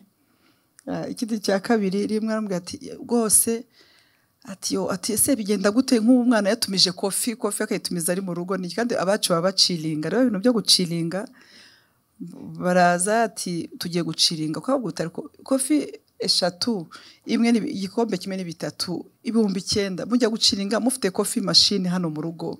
Mufite ibyo bintu byose. Ariko babasha gusa guhindura sometimes environment. Ariko nigarutseho jyewe mba teenager ndi teenager. Cyari igihe kinkomereye ko ni cyo gihe mama wanjye yakoze accident. Ni muri iyo myaka. Kera wenda ubu ngubu aba teenagers baba ku myaka mike cyane. Ariko kera ari nka 18 gutyo. Mu ma 18 19 mbega umuntu yabaga rwose ari teen nyine. Cyari igihe kinkomereye kuko uh, yari periode first of all uh, umubyeyi wanjye unkunda wampaye urukundo nta rukundo nigeze mbura kuri mama cyafite cyose yarakimpaye. Okay njyavuga ngo yabimpaye mu buryo bwe ariko byarangiriye umumaro. Ariko uh, amaze kwimahya nk'uko temonyaje yangiye mujya muyumva urumva afite umutware ukora ibintu bishoboka ariko mu gihe cya accident yendi teenager ni ho nabonye ko mama wanjye umubiri ahantu hose hamenaguritse ahantu hose hahindutse ntazi to do ndi mu gihe kabisa cyagiye cy'aba teenagers. Niho mama wanjye yakoze accident iriya yatumye abadekarasi ahantu hose. Muri iyo periode nyine ni ho wowe yitwataga umutware we byasaga nk'avuga ati ntacyo tugipfana uyu nta kintu amariye. Uh, twebwe ni na yo myaka yamubwiye ati rukana abana bawe yewe dusigarane. Hanyuma byari ibihe bitoroshe kubona umuntu wabakundaga muzi ko ari we kava muzi ko ari we papa ababwira ngo musohoke. Cyari igihe kiri so hard kuri jye ariko nk'uko babivuze na yo myaka yesu yamfashemo. Ni na yo myaka yesu yamfatiyemo ariko muri iyo myaka ngira ngo nkomeze nabo baba mu nsengero ndavuga n'igihe ntabwo nareka buwate ndumva ashaka ikintu amatsiko nabaga mfite. Ni ukumenya ukuntu bya bitara byaka. Bya bitara byo nkumva ni ibintu bikomeye cyane. Barantwaye banjyanye barambwiye ati ntugire ikibazo. Abanjyanye ubwa mbere barambwiye ati ipinjama uzisige inyuma y'urugo. Twasize ipinjama amapijama twayasize hanze kugira ngo kera hari umuco wo gukubura abana abana muri weekend ntabwo abakozi ntibakoraga. Ni ukuvuga ngo abakozi mwaramesaga mugakubura abakozi bagakora lendi kugeza vendredi. Ngira ngo mbwire abana batoya gukora imirimo mu rugo birafasha cyane. Hanyuma rero kuko twamujya muri boîte imikubuzo iri aho kugira ngo dimanche matin mamaze kubyuka turi gukubura turi gukora iyo mirimo. Reka rero tugende ngira amahirwe ntiyamfata turagaruka twambara ipinjama dukomeza dukora ako kazi. Rero nari muri ba bana ababyeyi bahamiriza. Urabizi ko ababyeyi bamera gutyo. Ngo ndashimira bene data ndashimira imana ngo mpaye abana beza ngo abana ngo bitonda ngo bicara mbega nyine nari muri abo ngabo. Eh? Ariko i knew nari nzi neza ko nanjye nari ntangiye kujya ngenda muri ubwo buryo. Hanyuma rero sinzi ahantu yamfatiye rimwe mvuga ngo tujye gukurikira iyo. Hari ibintu bigezweho i Burundi ngo byo kujya kuganduka ibintu by'ibiriyo. Noneho bagiye kugikura. Rimwe mama arandeba atari ko wowe ntujya ujya mu kiriyo ujya kugikura. Ujya kurangiza ikiriyo utatashe ikiriyo so tukade long story short imana biriya byose yavuze twabiciyemo ariko imana yabaye iyo kwizerwa. Twe twashatse no mu myaka mikeya cyane. Mu myaka nashakiyeho yari mike. Ariko turashimira imana igiherekeza umuntu. Ikamuherekeza muri ubwo buzima ikagutwara nari mfite ishaka muri igihe nagendanaga ariko ritari kuvuga ngo ni imana ni ijwi ry'imana. Ishaka rivuga ngo ntabwo nagira umumama wababaye ku bwanjye. Hanyuma ngo nzamukoze isoni. Ntabwo ryari ishaka ry'umwuka wera ariko sinshaka kuzamukoza isoni ngo yumve ngo naratwise naragenda twita. Ndabigambirira iki gikomere kigira imbaraga. Nkavuga ni ibintu yahuye na byo antwita yantwise ari muto. Ntabwo namuzana iyo shemu so ndesida kutamuzana iyo shemu kubw'ubuntu bw'imana sinayimuzanira. Rero nagira ngo twakire sinzi na twakwakira pasiteri jean gakwaya yagiye yumva abantu bose turi hano araturuta. Twese twese twese na poso wanyu araturuta cyane. Yarigishije yabaye n'umupasiteri ikindi yabaye umwigisha wigisha abana bari muri high school cyangwa se no muri n'ahisumbuye ikindi nanone afite n'abana be ubwe yibyariye bari muri diaspora ari ino nibaza ko ibyo bintu byose yashobora kubyumva kandi ari kumwe n'umufasha we eh, mama jacqueline. Nagira ngo tubahe tugiye kubabaza ibibazo twaba tuba turabalimita. Reka bavuge bakurikije ibituro turavuga noneho batubwire ibijyanye n'ibikwiriye eh? ya so reka tubakire. Teme barayizi kuri focus and family kuri dignity ariko noneho ku bana ku bintu bijyanye no kurera abana. Ejo yari yatubwiyeho duke ariko noneho turifuza kugira ngo twumve. Reka twakire mama jackie araza kumutwakira. Imana ishimwe cyane. Ah, ndabashimiye cyane. Wakoze cyane aposo Ah, n'itorero ryose ndarishimiye. Tuza munatubabarire ko twakererewe twagize impamvu zitaturutseho ariko twashimye imana kubera ko aho yamfashe aho narindi nasenze ndi mu modoka. Shima imana yatugiriye ubuntu ikaduha kuba twagira icyo twavuga ikatwizera mukanatwizera namwe. Imana ibaha umugisha. Ibyo bavuze nafashijwe cyane. Byankozeho. Umwanya nari nshaka muri bibure ijambo nkunda kugenderaho rivuga ngo abana bacu abana b'abizera ngo bazigishwa n'uwiteka kandi bazagira amahoro menshi cyane. Amen. Ni ijambo nagendeyeho mu buzima bwanjye n'abana banjye. Iteka ryose iyo byabaga muri iyo myaka ya teenagers nararyibukaga ko hari isezerano kuko nkunda yesu naratoranyijwe ah, nzi ko abana banjye uwiteka bigisha kandi azabaha amahoro menshi. Mu rugendo umuntu bavuze ibintu byankozeho mwese bya- byanshimishije Ah, nakunze kuba mu buzima bwo gukunda gusengera abana n'umuryango wanjye. Mu bintu njya nshimira imana njya mvuga ngo abana banjye banyigishije gusenga. Batumye senga batumye niriza ubusa. Rwose kuko namenyaga aho ngomba kubwira imana eh, kugira ngo ibasange. Kuko ni imyaka nzi nanyuzemwo ah, kandi ndeba n'ibintu bariho bagenda banyuramo. Hanyuma nkasenga imana nkafata iminsi yo kwiriza nkavuga ngo umwaka nutangira nzafata iminsi runaka njya ahantu niherere nirize kuko buriya iyo ugambiriye urabishobora. Kandi nabonye ikintu gikomeye ku mubyeyi uzi imana noneho n'urukundo rw'u- rw'u- rw'umubyeyi nta kintu utakora. Kugira ngo uvuge ngo ikintu cyanyiriza umwana ni iki ntakora. Nabibonye imana ishoboza nkafata nk'iminsi irindwi seke ndo ndabasengera. Ubundi ku bwanjye kubera ko ari ikintu ufite nk'umugambi ku bw'urubyaro rwawe Ah, nk'uko umubyeyi ahangayikishwa no gushaka minervari z'abana n'icyo barya ariko ibyo ngibyo bigira umumaro muto cyane. Igifite umumaro ni uko umwana wawe yamenya imana. Imana ishimwe rero cyane.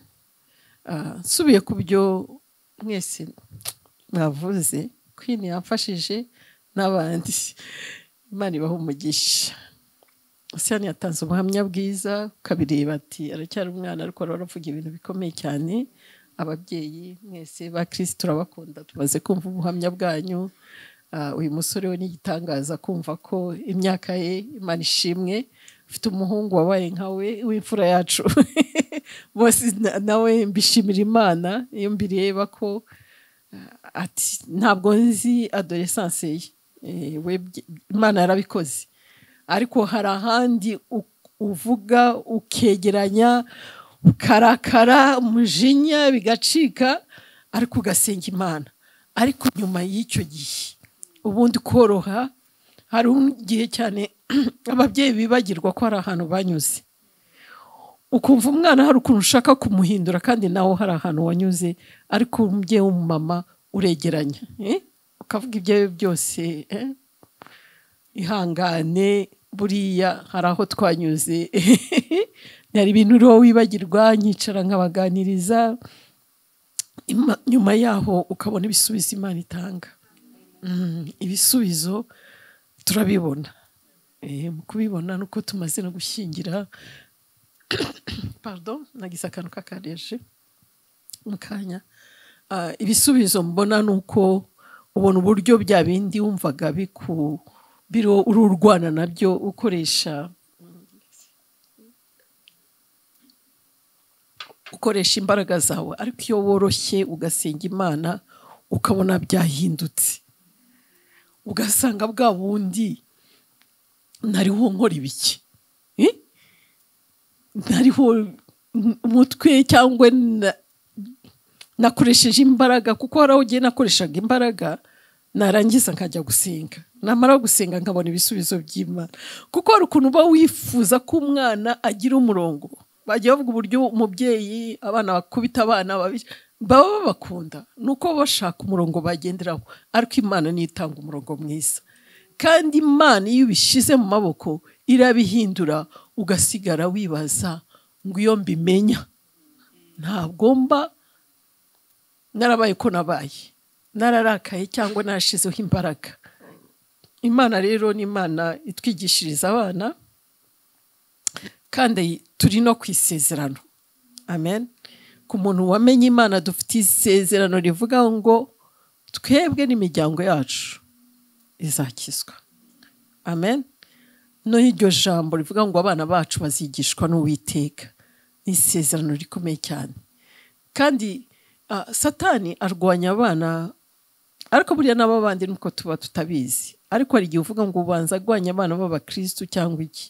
Ariko ni ibisanzwe abana bacu bazi imana. Aho biherereye barasenga. Bamenya imana baragaruka bafite ikibagarura ariko hari ubwo bifuza kujya kurunguruka. Eh? twese ni iki se wabwira nk'ababyeyi Eh. kubera experience nzi mufite? Urareba hari igihe abana uretse na- uretse n'aba teenagers n'abamaze kubarenga ko nabo baradukurikiye. Hari ukuntu ababyeyi yumva ko umwana uko yamureraga kera sunday school level niko azamurera mu gihe kiri imbere. Kuko abana banyu mwabanye muri sunday school kimwe n'abacu twese noneho bariya abana bariho baragenda bakura. Noneho nko- nka- nk'ubu tuvuge hagati yawe n'umutware kuko kenshi ku miryango ikijijwe nkunze kubyakira cyane no ku miryango ikijijwe. Ugasanga hari nk'umupapa warakaye cyane. Akavuga ati uyu mwana wanjye naramusengeye. Abapapa nyine bari mu marembo. Bari mu marembo. Mbona bibakarira cyane. Ati uyu mwana naramusengeye. Ati ngewe ntabwo nabyemera nzangana nawe. Niba bidashoboka ntazongere no kundeba mbino nk'ibyo. Noneho hari n'uwo muganira ukamubaza atese mwapfuye iki? Turabona muri iyi minsi ari muri vakansi ari ino ati njya kubona bucya nkamukomangira saa yine nkabona amatara aracyaka mu cyumba cye nkamubaza papa. Umwana wamwoheje kuri univerisite yakuzaniye diporome ahantu arara kuri univerisite murabana yo wapi? Agarutse se. Atari iwanjye ntabwo byakunda. Ese icyo cyumba iyo koridoro ishaka mwe? Urumva urabona n'ukuntu bategura ibintu byabo. Jinsi iri hano ibi biraha mbega ugasanga hari nk'ibintu bijagaraye mu, byumba byabo. Hari nk'icyumba ushobora kwinjiramo ukavuga aha ni hema. Nanjye ukavuga ni indi zone winjiyemo. Si utukubana nanjye ni- ni abatandukanye si abahungu gusa. Abahungu bafite n'uko bitereye ariko buriya n'abakobwa ruje revura yitetse aha ibintu byose bitetse aha. Natwe byatubayeho. Kuko hari igihe twaze umuntu ibi bintu kuki utabishyira aha? Niba ubishyira aha. Ugasanga tuvuge hari ushaka ko gupanga imyenda ye ivarize ariko abanje kubisuka hasi. Akabanza akabisuka hasi hasi ariko kugira ngo arebe icyo atoranya. So urumva ababyeyi baba furisitire cyane n'izo n'izo niyo nuko kuntu. So ni gute mujera sinzi igihe mu balance hagati muri couple igihe muri mu guca muri ibyo bintu. Ko abapapa bararakara kweri. Ko hari igihe avuga ati ndashaka ko baza kuri table nonaha umwana akaba afite music akantu mu matwi. Kandi koko turabakomeretsa ngiye nkanjye hari umwana nigeze kubaza abana banjye ndabaza se hari ufite igikomere cyanjye? Ati sigaho. Umwana arambwira ati ati ibyawe ntibyoroshye umwana arambwira ati reka nkubwire. Ikintu cyambabaje mu buzima bwanjye. Ni ukwanga ko ncuranga music. Urabona hari ma music rero? Akubitamo ikintu kimeze nk'ikinigeria ukumva arakubise seriously. Mbega uka- ntumenye niyo niyo yaba iz'imana ukumva ziradunda serious noneho arambwira ati ikintu cyankomerekeje mu buzima ni ugutumira my friends ndi umwana muto ndi teenager kuri birthday yanjye. Warangiza ugashyiramo alouette. Indirimbo ya alouette urayibona? Zazi- zaziza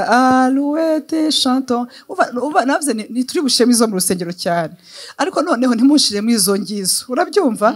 Mushiremo nka alouette. Ati niba ari ikintu cyankomerekeje mama ni ukunshiramo alouette natumiye abacuti banjye bose. Urumva naramwishe pe sinabimenya ariko na- namubwiye ntimbabarira basi. Nabo baba bazi uko duteye uko bakura bakamenya ibyo badagira. So ni gute mujeri iyo iyo eh? Eh, Yeah. ni ugufasha abana yego turabafasha ariko iwacu hari ukuntu bitame we ntabwo akara cyane. Mhm. ntabwo akara ni jyewe wakariraga abana kurushaho. N'ubu. Ni nanjye barega kurushaho. Hari n'ubwo akora ibintu nk'ubu umwana wacu dufite ukurikirwa n'umuherezi umuherezi nawe uhari ni inkumi ni mukuru. Ariko ni wa wundi aba ambaza yariye yagize iki? Ahobera? Ah, mbese yegera cyane ndetse yanamukarira ubundi akamusaba imbabazi. Nkabireba ko yamusabye imbabazi. Nkibaza ibintu ariko narangiza nkavuga ngo byibura mufite umupapa mwiza. Eh, kuko benshi batabigira ndanabimushimira cyane njya kandi barabizi kuko wari uherutse kudutungura aricara aravuga ngo buriya nubwo tutabibabwira muri ababyeyi badasanzwe. Eh, byadukozeho kuko baba bafite ahantu babibika. We rero ni umupapa udakarira abana cyane nubwo yababwira ariko arongera akabiyegereza. Yewe bigera no ku mafaranga eh? ukamenya umwana yatwaye amafaranga yangije wajya kubona ukabona amwohereje amafaranga. Nkambwira koko uyu mwana yari afite amafaranga arayangiza. None umwongeye andi ubwo se ni bwo umukijije? Ariko bifite icyo bimara gikomeye cyane. Uyu munsi navuga ngo byaranyigishije cyane. Iyo ndeba hari ibintu byahindutse. Eh, byahindutse ah, yewe n'iyo asuye n'abo bantu bakuru abwira ibintu yakoze nkamubwira aho bakaguhaye ni wowe ubibaha ni wowe ubikora. Ko- mu buryo bwo kuganira ariko nkareba uwo mutima.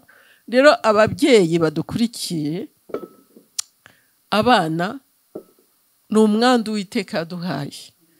Ntabwo umwana abeshwaho n'uko yize cyangwa wamugaburiye oya akeneye urwo rukundo akeneye kumwihanganira Ah, ahari nanjye imana yarangiriye ubuntu pe. Ariko ndumva mu burere bw'abana wansubiza inyuma nabikora neza kuruta uko nabikoze imbere. Eh, aho navuga ngo nararakaraga cyangwa iki nabikora neza kurusha mbere.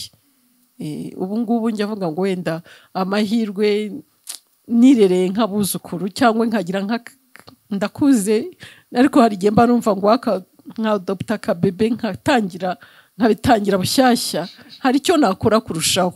Nzi ko ari byo nagerageje ariko hari ibyo wakora kurushaho kurusha- kurusha uyu munsi. Kubera ko umwuka wera aratwigisha.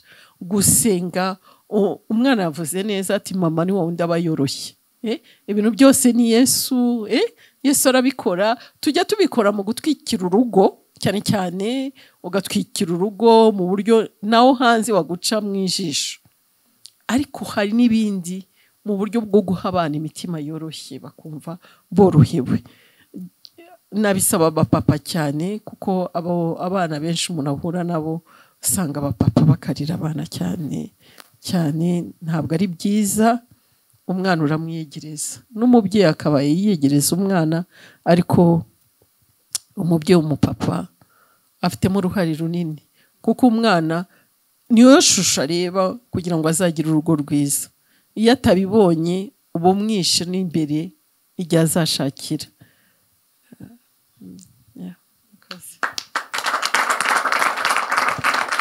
Um, ni ukuri sinzi ukuntu nabashimira um, cyokora nyansengera uh, apotre kuko umurimo mukora ni umurimo w'igitangaza uh, umurimo w'igitangaza nk'ibi biganiro byanejeje cyane koko. Mm, gusa hari indi topic numvaga nifuza yavugwa n'abana kugira ngo batwigishe. Kuko eh, iyo muvuze ngo nkatwe dufi- dufite abana barindwi umuto afite imyaka makumyabiri n'ine. Eh, umukuru afite imyaka mirongo itatu n'itanu. Ubundi twari dukwiye kuba koko dufite experience abantu twarize abana barindwi bacu bo mu nda ariko twarize n'abandi bana Eh, urumva twagize igihe cyo kumenya abana cyo kubaba hafi. Ndababwira some experience nagize n'abana bi- bitewe na- n'ahantu twabaye hatandukanye. Ariko icyabasetsa yewe ntabwo nahagarara rwose ngo mvuge ngo nzi kurera abana. Iteka mpora numva mfite amatsiko yo kumva abana bambwira uko nabarera neza kurushaho.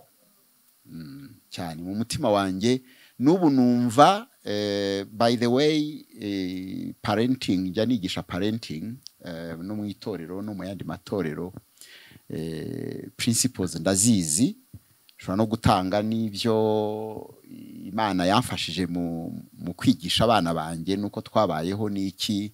Hari ibyo nzi practically ariko numva nkikeneye kumenya ibirushijeho. Numva nkikeneye cyane kugira ngo menye blind spots z'ababyeyi tugira mu mirerere y'abana kandi ziriho nyinshi. Rero ngiye kuvuga mu magambo make hari ibintu nzi biri mu ijambo ry'imana. Hari ibintu ntari nzi neza ariko imana yanyigishije mu kurera abana. Hakaba n'ibintu nizera by'ukuri hakaba n'ibindi ntazi numva nkikeneye kumenya. Reka mbivuge mu magambo make. Jewe ubundi eh, ndi umwarimu nize ubwarimu eh, kwigisha abana bo muri primary school. Kuko nize ecole normale wiga eh, high school warangiza ukagira umwaka wo kwiga kwigisha ukagira practices methodology na pedagogy n'iki. So bakwigisha abana. Iyo ni background. Nyuma yaho nza no kuba umupasitoro urumva eh, nigisha abana nigisha ababyeyi nigisha amacouples nigisha n'aba- n'abasore n'inkumi bageze gushaka you know how do you choose your spouse? Ibyo byose ndabikora.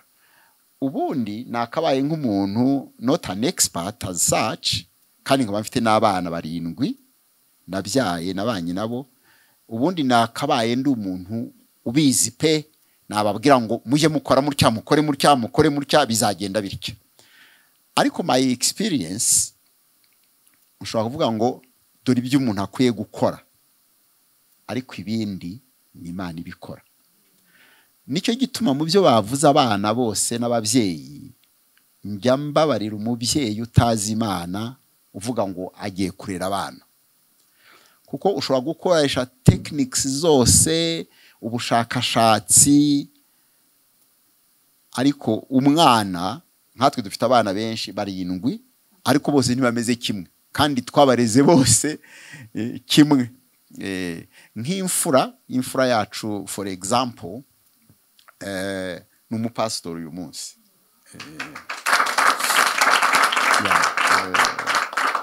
I wish ndumva rwose iyi video nzayisaba. Kuko ukuntu yabaye ukuntu yabaye ya- arangije high school yarangije high school ari muri Canada eh, afite amanota meza ari bright ariko noneho ahitamo kujya kwiga kwiga theology Mm, Bible, college. Noneho tuza kumubaza eh, numva ndanezerewe cyane tuza kumubaza why why? Noneho aza kutubwira urabona iwacu twari dufite umuco wo kuganira n'abana buri mugoroba. We na byo ndaza kubigeraho. Ndageza kuvuga bike kuko hari byinshi. Anyhow noneho aza kutubwira nigeze kubwira abana mbabwira ku- ukuntu nkunda imana. Mm, kandi nkunda imana cyane pe.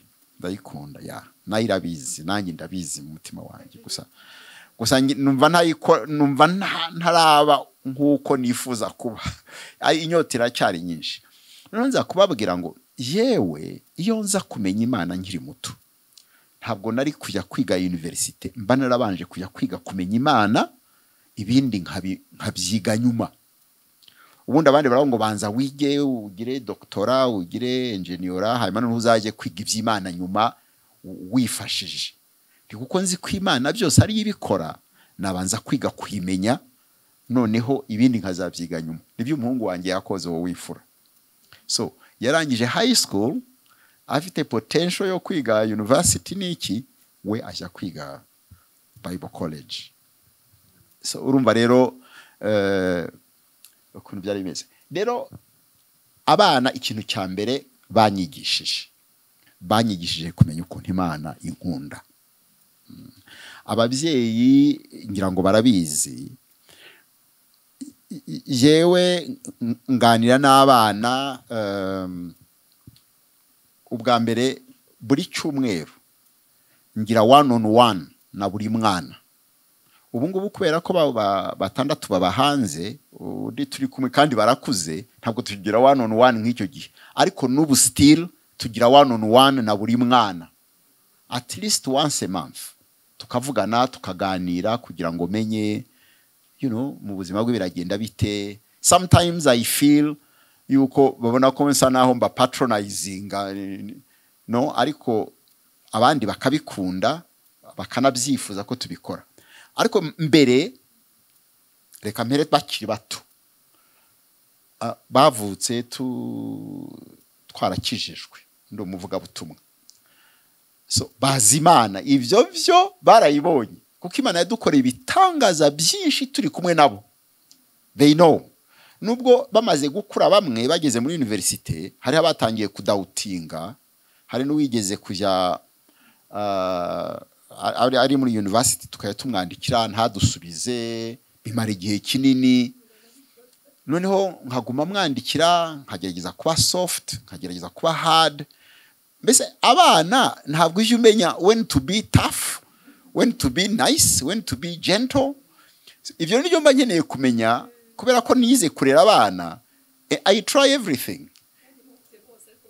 Batandukanye. Noneho ukuntu byaje kugenda icyo nashaka kubabwira sinzi ukuntu nakomeje kumuganiriza bukeye one day ambwira impamvu atatwandikira atanaduhamagara. Ndamubwira sinshaka kuvuga izina rye. Arambwira ngo urabizi se? Ngo twavutse mutwigisha gusenga mukunda imana. Ngo ariko yewe now the state ndimo ngo ibintu by'imana rwose numva ngo numva ari fake. Ndavuga eh wumva ari fake?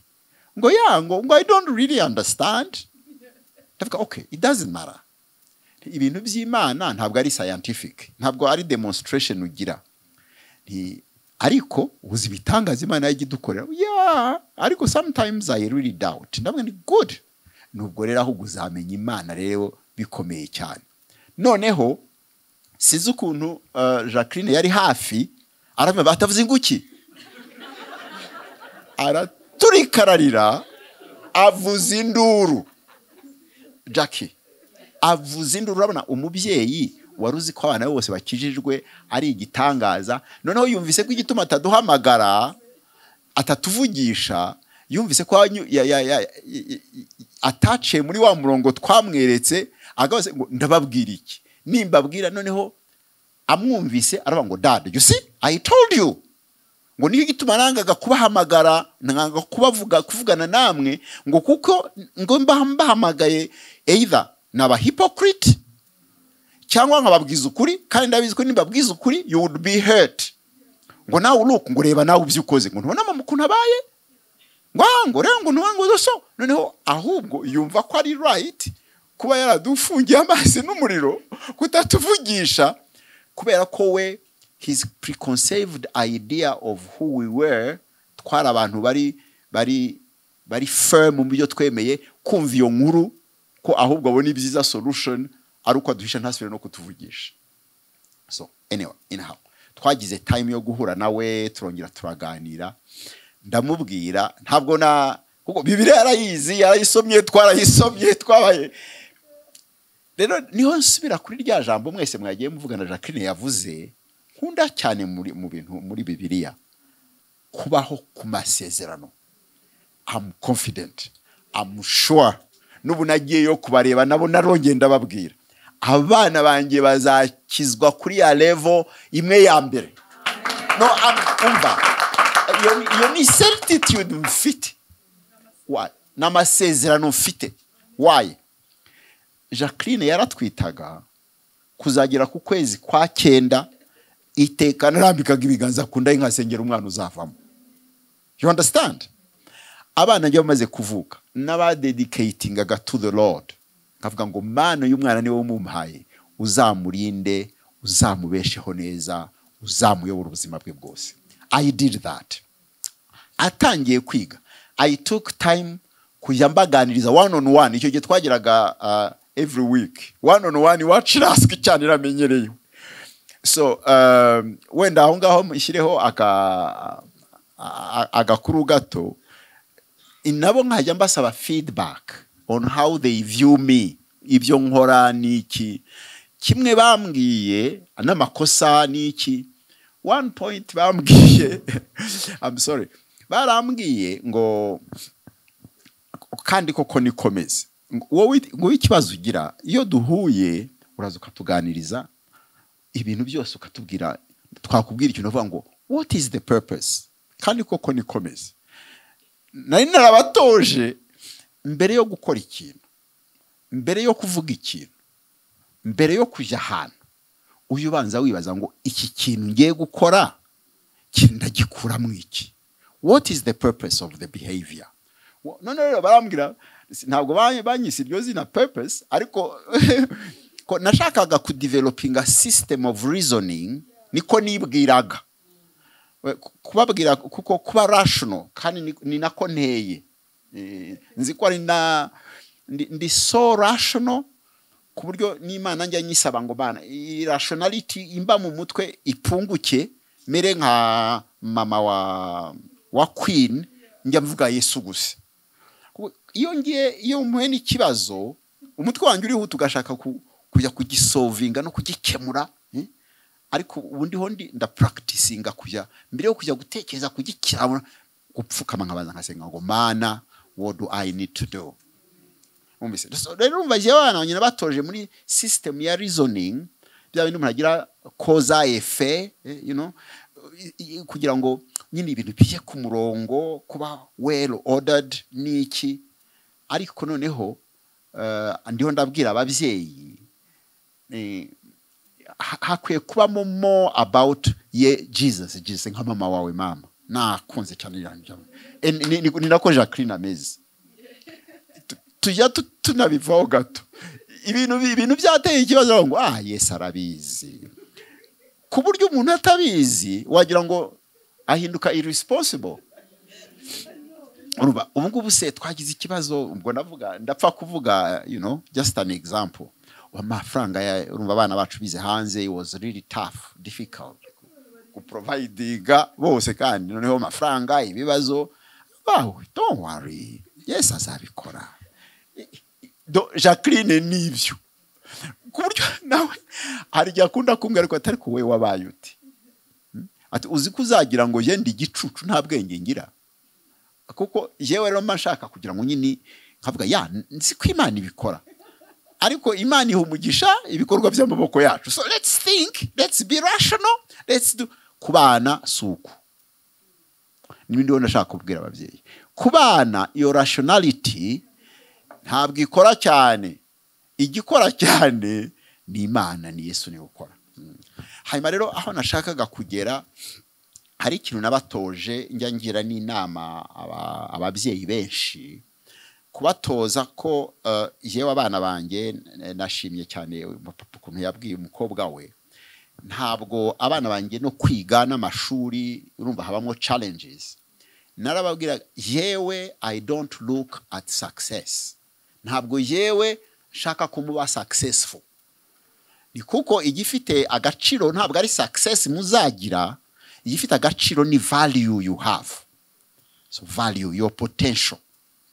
So success kuyidefininga biragoye. Ariko ubundi muri muri um, muri secular world icyo ndumva nagitindaho ndaza gusaba n'abana ko batugira inama. Muri secular world yewe nakuze ntaramenya imana. Umuntu w'umugabo umuntu w'intwari ni umuntu wiga amashuri menshi mu mutwe wanjye numvaga nziga amashuri menshi cyane. Eh, icyo gihe abari bagezweho n'abadokitera medicine Na- nasabye no kwiga medicine ariko kubera ko nari umunyamahanga baranyangira. So uh, kugira ubwenge bwinshi nyine ukaba top of the class. So iyo niyo success mu buzima bwanjye. Natekerezaga kera ntarakizwa icya kabiri ukagira ubutunzi bwinshi bwinshi cyane ukagira uka, ukagira popularity. Nyine just ukaba ugapurizinga abantu ku buryo aho bagiye bakagutora eh?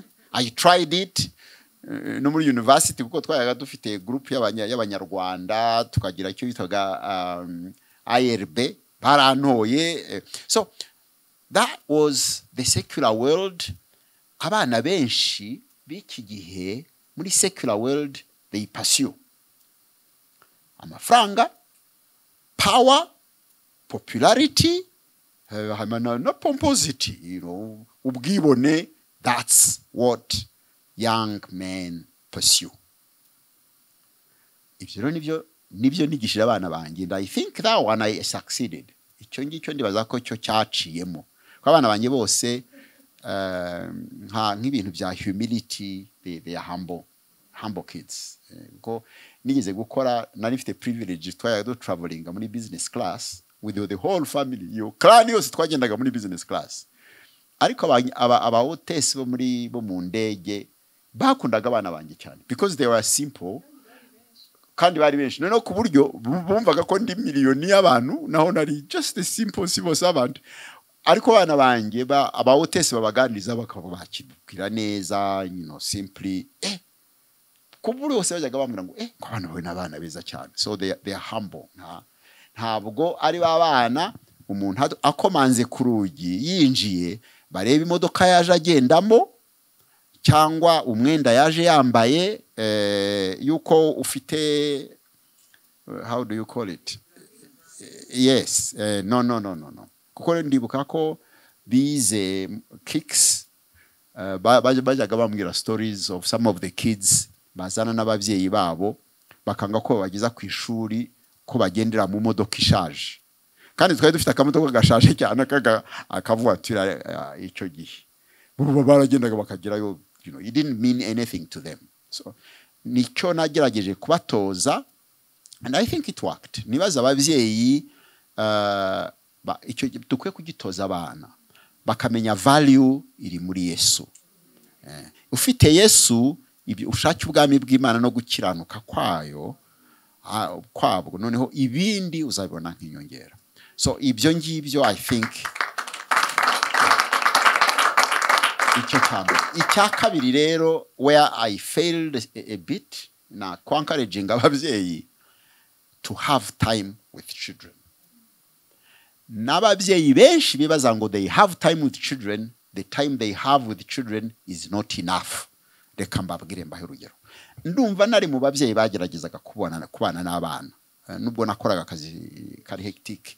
Nagiraga one on one buri cyumweru weekly Ah, twagiraga ibiganiro n'abana tukagira n'igihe twicara tukaganira tukavuga ngo reka tuvuge dad uko mumuzi mam jacques joel. Tukajya tuvuga buri mwana uko abantu bamubona weaknesses strengths tukaganira between us. Ariko eh, nkikora i rwanda it was not enough. Abantu babaye i burayi cyangwa batwumva bo babana n'abana. Kubera iki? Kubera ntibagira ababafasha ntibagira abakozi. Uzarebe reka mbabwire. Ababyeyi hano mwese eh, young parents mwebwe. Ninde ugira agatebe k'umwana mu modoka? Ni bake cyane. Even between you. Kubera ko iyo mugiye gutembera mumusiga mu rugo. Ariko umwana he learns ari kumwe n'ababyeyi. Hanze abana umwana mu- umukobwa wanjye afite umwana baba bari kumwe ntushobora kumusiga mu rugo. Aho ugiye murajyana. Ugiye gusura uragenda. Ababaye hanze umwana wawe yakina football you have to be there to assist. Twabaye hanze igihe gito ariko ibaza abana barindwi bari muri sports zitandukanye. Umwe akina football undi agira natation undi agira volleyball undi agira basketball. Ni ukuvuga ngo na- naryamaga nka- nk'agati napfuye kubera ko i had to spend at least 5-10 minutes kugira ngo umwana abone ko mpari. So nashaka kubabwira rero parents bibaza ngo baragerageza kubana n'abana abo abo hanze babana n'abana kurusha twebwe. Eh, we need to increase that. Umva urugero nabonye. Muri uko kugerageza kose ndi mu rwanda aho twagiye hanze twakozeyo three years. Noneho icyo gihe turi hanze mu banyamahanga nta bahuraga n'abana ku ishuri ariko mu rugo nta neighbors na n'abanyamahanga gusa. So twarabanaga. Navaga ku kazi nkaza mu rugo. Bava mu ishuri bakaza mu rugo. Na mama akaba ari mu rugo. So twagiraga more time together. Noneho bukeye nkajya mba observing. One day nkajya no gucekinga their rooms yuko ba I was privileged to have a big house. Buri mwana wese akagira icyumba cye nkajya gucekinga yuko igitanda cye yagishashe niki? Na one day nkasanga ntibashashe. Nkavuga what happened to you? None ura- uragenda ukagaruka ntuzase gitanda upfa kuryamamo gusa.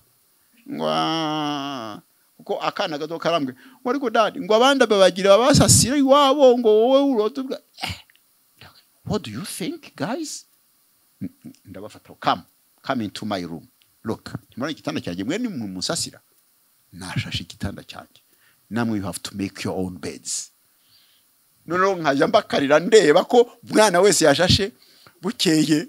Umukobwa wanjye uyu nguyu arongowe arambwira. Noneho arambwira aterega papa. Ati atuzi igituma ukara gutyo tubwira ngo dusase tugere gute? Ati buriya ntabwo tuzi. She said that. Ati ntabwo tuzi.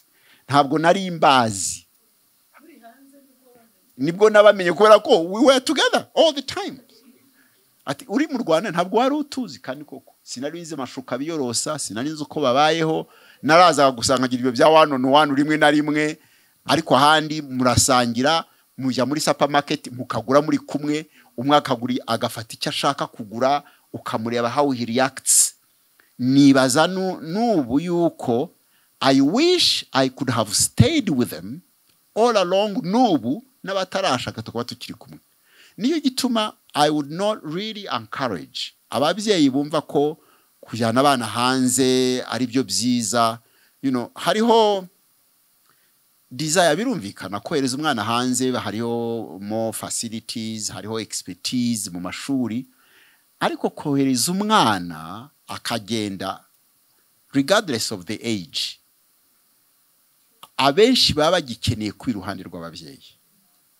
If i had to choose i would choose to remain with my kids bakiga hano kuzageza igihe baba mature nkabona ko bafite character mbere yo kubohereza gusa barangije high school ngo bajye kwiga university muri amerika muri canada muri iki. Ntabwo mvuze yuko kubikora ari amakosa. Hari abagenda bikagenda neza. Ariko chances z'uko bitagenda neza ziba ari nyinshi kubera mutari kumwe. Ababyeyi iyo bangishije inama kugira ngo abana babo bajye kwiga muri canada muri amerika n'iki? Ndababwira ngo niba ushobora ku- kuboherezayo make sure nibura baje baza every holiday baze noheli easter na na na na, na summer. Eh, ariko urumva kubera ko abantu benshi baba bi- bishakamo ubushobozi hari igihe abana bakora baba- baba- babaha na work permit nabo baba bashaka gukora kandi baba bashaka gupuruvinga nabo kuba baye abagabo. So iyo ni point nifuza kubwira ababyeyi kugira ngo abana spend time with kids as much as you can n'abagerageza aho ni ho mvuga ko na failinze ntabwo nk'ubu nsubiye nsu- wansubiza imyaka yo gushaka I would spend more time with my children than I spent. Kandi ndi mu bageragezaga. You understand? ibintu abasaza bajyaga bavuga ngo bimuzabyumva mukuze Yego. exactly. hariho ibintu nibaza ko matu- maturite nyine uko umuntu agenda agira ushobora kubibwira umuntu koko nk'ibi bintu avuze. Nkanjye nohereje abana muri high school bakora na university. Ariko today unsubije inyuma. Nabohereza for masters cyangwa se for university. Exactly. kandi koko giye barazaga nka gatatu mu mwaka. N'ubu still ba- ba- barakuze ubu. Yeah. ya ariko mu by'ukuri inshuro eshatu. So ukibaza nanone abana usanga bari hariya. Akakubwira ati maze two years ntabona ababyeyi banjye. I miss them. Ikindi nanone petetre akamweza avuga ati uzapfe kubona itike igugezayo nzumva ugeze canada nzumva ugeze muri amerika. Ibindi imana izironkera mwana we. Ariko imana nubwo yironkera reka nongere mbere nkawe ariko habaho plan eh? so kandi muri biba bihugu uburyo wohereza umwana muri public, public school hari public schools nziza koko? Na zo zita udashobora kuaccessingamo izo ntizipfa kuboneka. Ariko nanone hari public schools zihari zi- zoroshe ku bana kwinjira ugasanga umwana biragoye kweri. Kuko haba atora ibintu byinshi cyane. Ariko private schools kugira ngo umuntu ayafodinge na byo ntabwo biba byoroshye. Nibaza ko biba bigomba iyo plan. Yeah. so I, I, I received Yeah. some of the stories z'abana banjye bagiye bajyayo bakajya muri university bagerayo ngo aka akasigara ari wenyine. Have some stories about that. Kubera ko haba hari amagroups y'abahungu n'abakobwa buri muhungu wese aba afite umugirlfriend eh, ntabwo ari umugirlfriend gusa kuba inshuti it goes far. Kandi abana banjye ntabwo ntabwo nigeze babwira ngo na- nabigishije bibiliya. Nabigishije kwiyubaha nabigishije what marriage is all about eh, noneho bo bagerayo bagasanga bya bintu nabigishije bi- ibyo abandi bakora biri opposite. Hari nk'umuhungu wanjye wambwiye aho yize muri universite abakobwa barazaga bakamubona. He's a handsome boy. Bakamubwira do you want to be my friend? That yes. Ah, uzazi dusohoke agashaka kumukoresha ibyo adakora we. Ati no jewe ntabwo ibyo ngibyo. Noneho agera aho aza kuba wenyine. Noneho n'abanywa urumogi baramwegera. Ba- ba- ba- ba- bamubwira ariko we kuki uba wenyine? Come with us tuguhe. Ati no no. Ati ntabwo ibyo ngibyo. Urumva ya iyo peer pressure kandi aba ariho discoveringa you have really to be of strong strong character to resist. So rero rwose nagira inama ababyeyi no even today kubana n'abana mukaba so close so close. Eh, so ni byo nashaka kuvuga. Hanyuma rero ikindi abana warabatoje neza. Kubaha imana. Value. Value. Apana gutagitinga success. Eh, bakaba you have to, to, be people of value than people who seek just success. Eh, kuko muri muri value ni ho ni ho biri. Mwavuze akantu ushaka kubabwira k'amahereni ninabe- narebye umukobwa wanyu nta mahereni afite. Umukobwa wanjye nta ukuntu nabigishije ntabwo i never ntabwo nigeze noburayijinga umwana ngo kora ibi mu itegeko nashakaga iteka ni nako nanababwiye. Nanababwiye if i tell you something you don't like challenge me. Kubera ko iyo uko narezwe data yaravuga ngo gira ibi. Ntabwo na- na- navuga ngo ngo se mbigirene. Wa- waragenewe ukagize- ugakora n'ibyo utazi kuko kubera igitsure nyine. Nkura rero mvuga ngo abana banjye. Umwana wanjye wese nzamuha freedom ajya ambwira ibyo ashaka. Honestly noneho we discuss anyumvishe mbese we, engage in a debate noneho twumvikane. So noneho rero ndababwira umukobwa wanjye uwo wifu uherutse kurongora ndamubwira ariko se ubundi gutobora amatwi. What's the benefit of it? Twagize debate. Harambwira ati no it's nice njye mbona ari utuntu twiza. Noneho eh, noneho ndamubwira none se kubera icyo ari twiza? Ntiburizi utwiza icyo ari cyo biterwa n'amaso atureba. In reality ushobora kutubona ari twiza cyangwa atari na twiza. Ndamubwira no problem. Gusa niba ubona ari twiza uzagende utobore utobore hatanu. Jewe nk'uwaye authorization. Ntuzatobore kamwe gusa. Ngo no no no no no ngo dutanu it's too many. Ah parapora kwa. Compared to what? Uzashyiraho dutanu.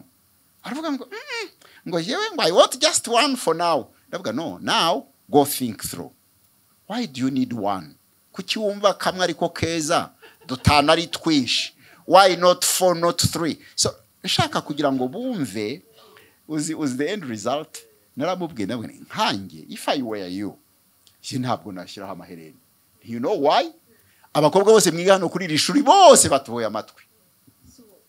So ariko nkawe. Kuba unique. Utanayatoboye ahubwo you are unique kuko imana igufata as unique. You don't imitate people. You are special. You are not just like anybody. You don't do something because just other, other people do it. Ni nayo education nagerageje guha abana banjye kumva ko ari unique. You are not like anybody. Ntabwo abantu bazatobora mu gahanga nawe ngo utobore mu gahanga. Ababitoboye if you like it but start asking yourself kuki mbikunda noneho umwana arabyumva wa dad.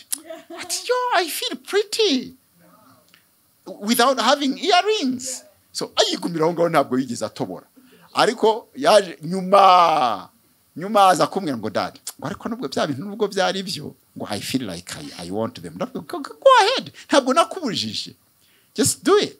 So, nashaka kudevelopinga. Nibaza niba dukwiye kudevelopinga mu bana always to know cya kindi bankriticizingaho the purpose. No kunyurwa muri we imbere no kurusha kunyurwa nawe. So no, no, i, teenager muraza kunkosora. Ikibazo abana bagira they imitate ba- ba- bagerageza gukurikiza abandi. Niho hava na peer pressure. Ugashaka gusa n'abandi ugashaka gukora ibyo abandi bakora kuko hariho hariho success. Ariko ntiwibaze profoundly why? The bottom line what do i want is she not pretty She's indeed pretty. You are pretty. You have earrings. You are pretty. But she's pretty too. So ushobora kuba pretty utambaye earrings.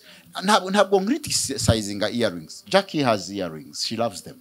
So it's okay. Mwanyumvise, it's okay. I'm not criticizing. Ariko, you have to understand the rationale behind it. The, the, system of reasoning, abana bakaba confident. Let me give you an example and then I close.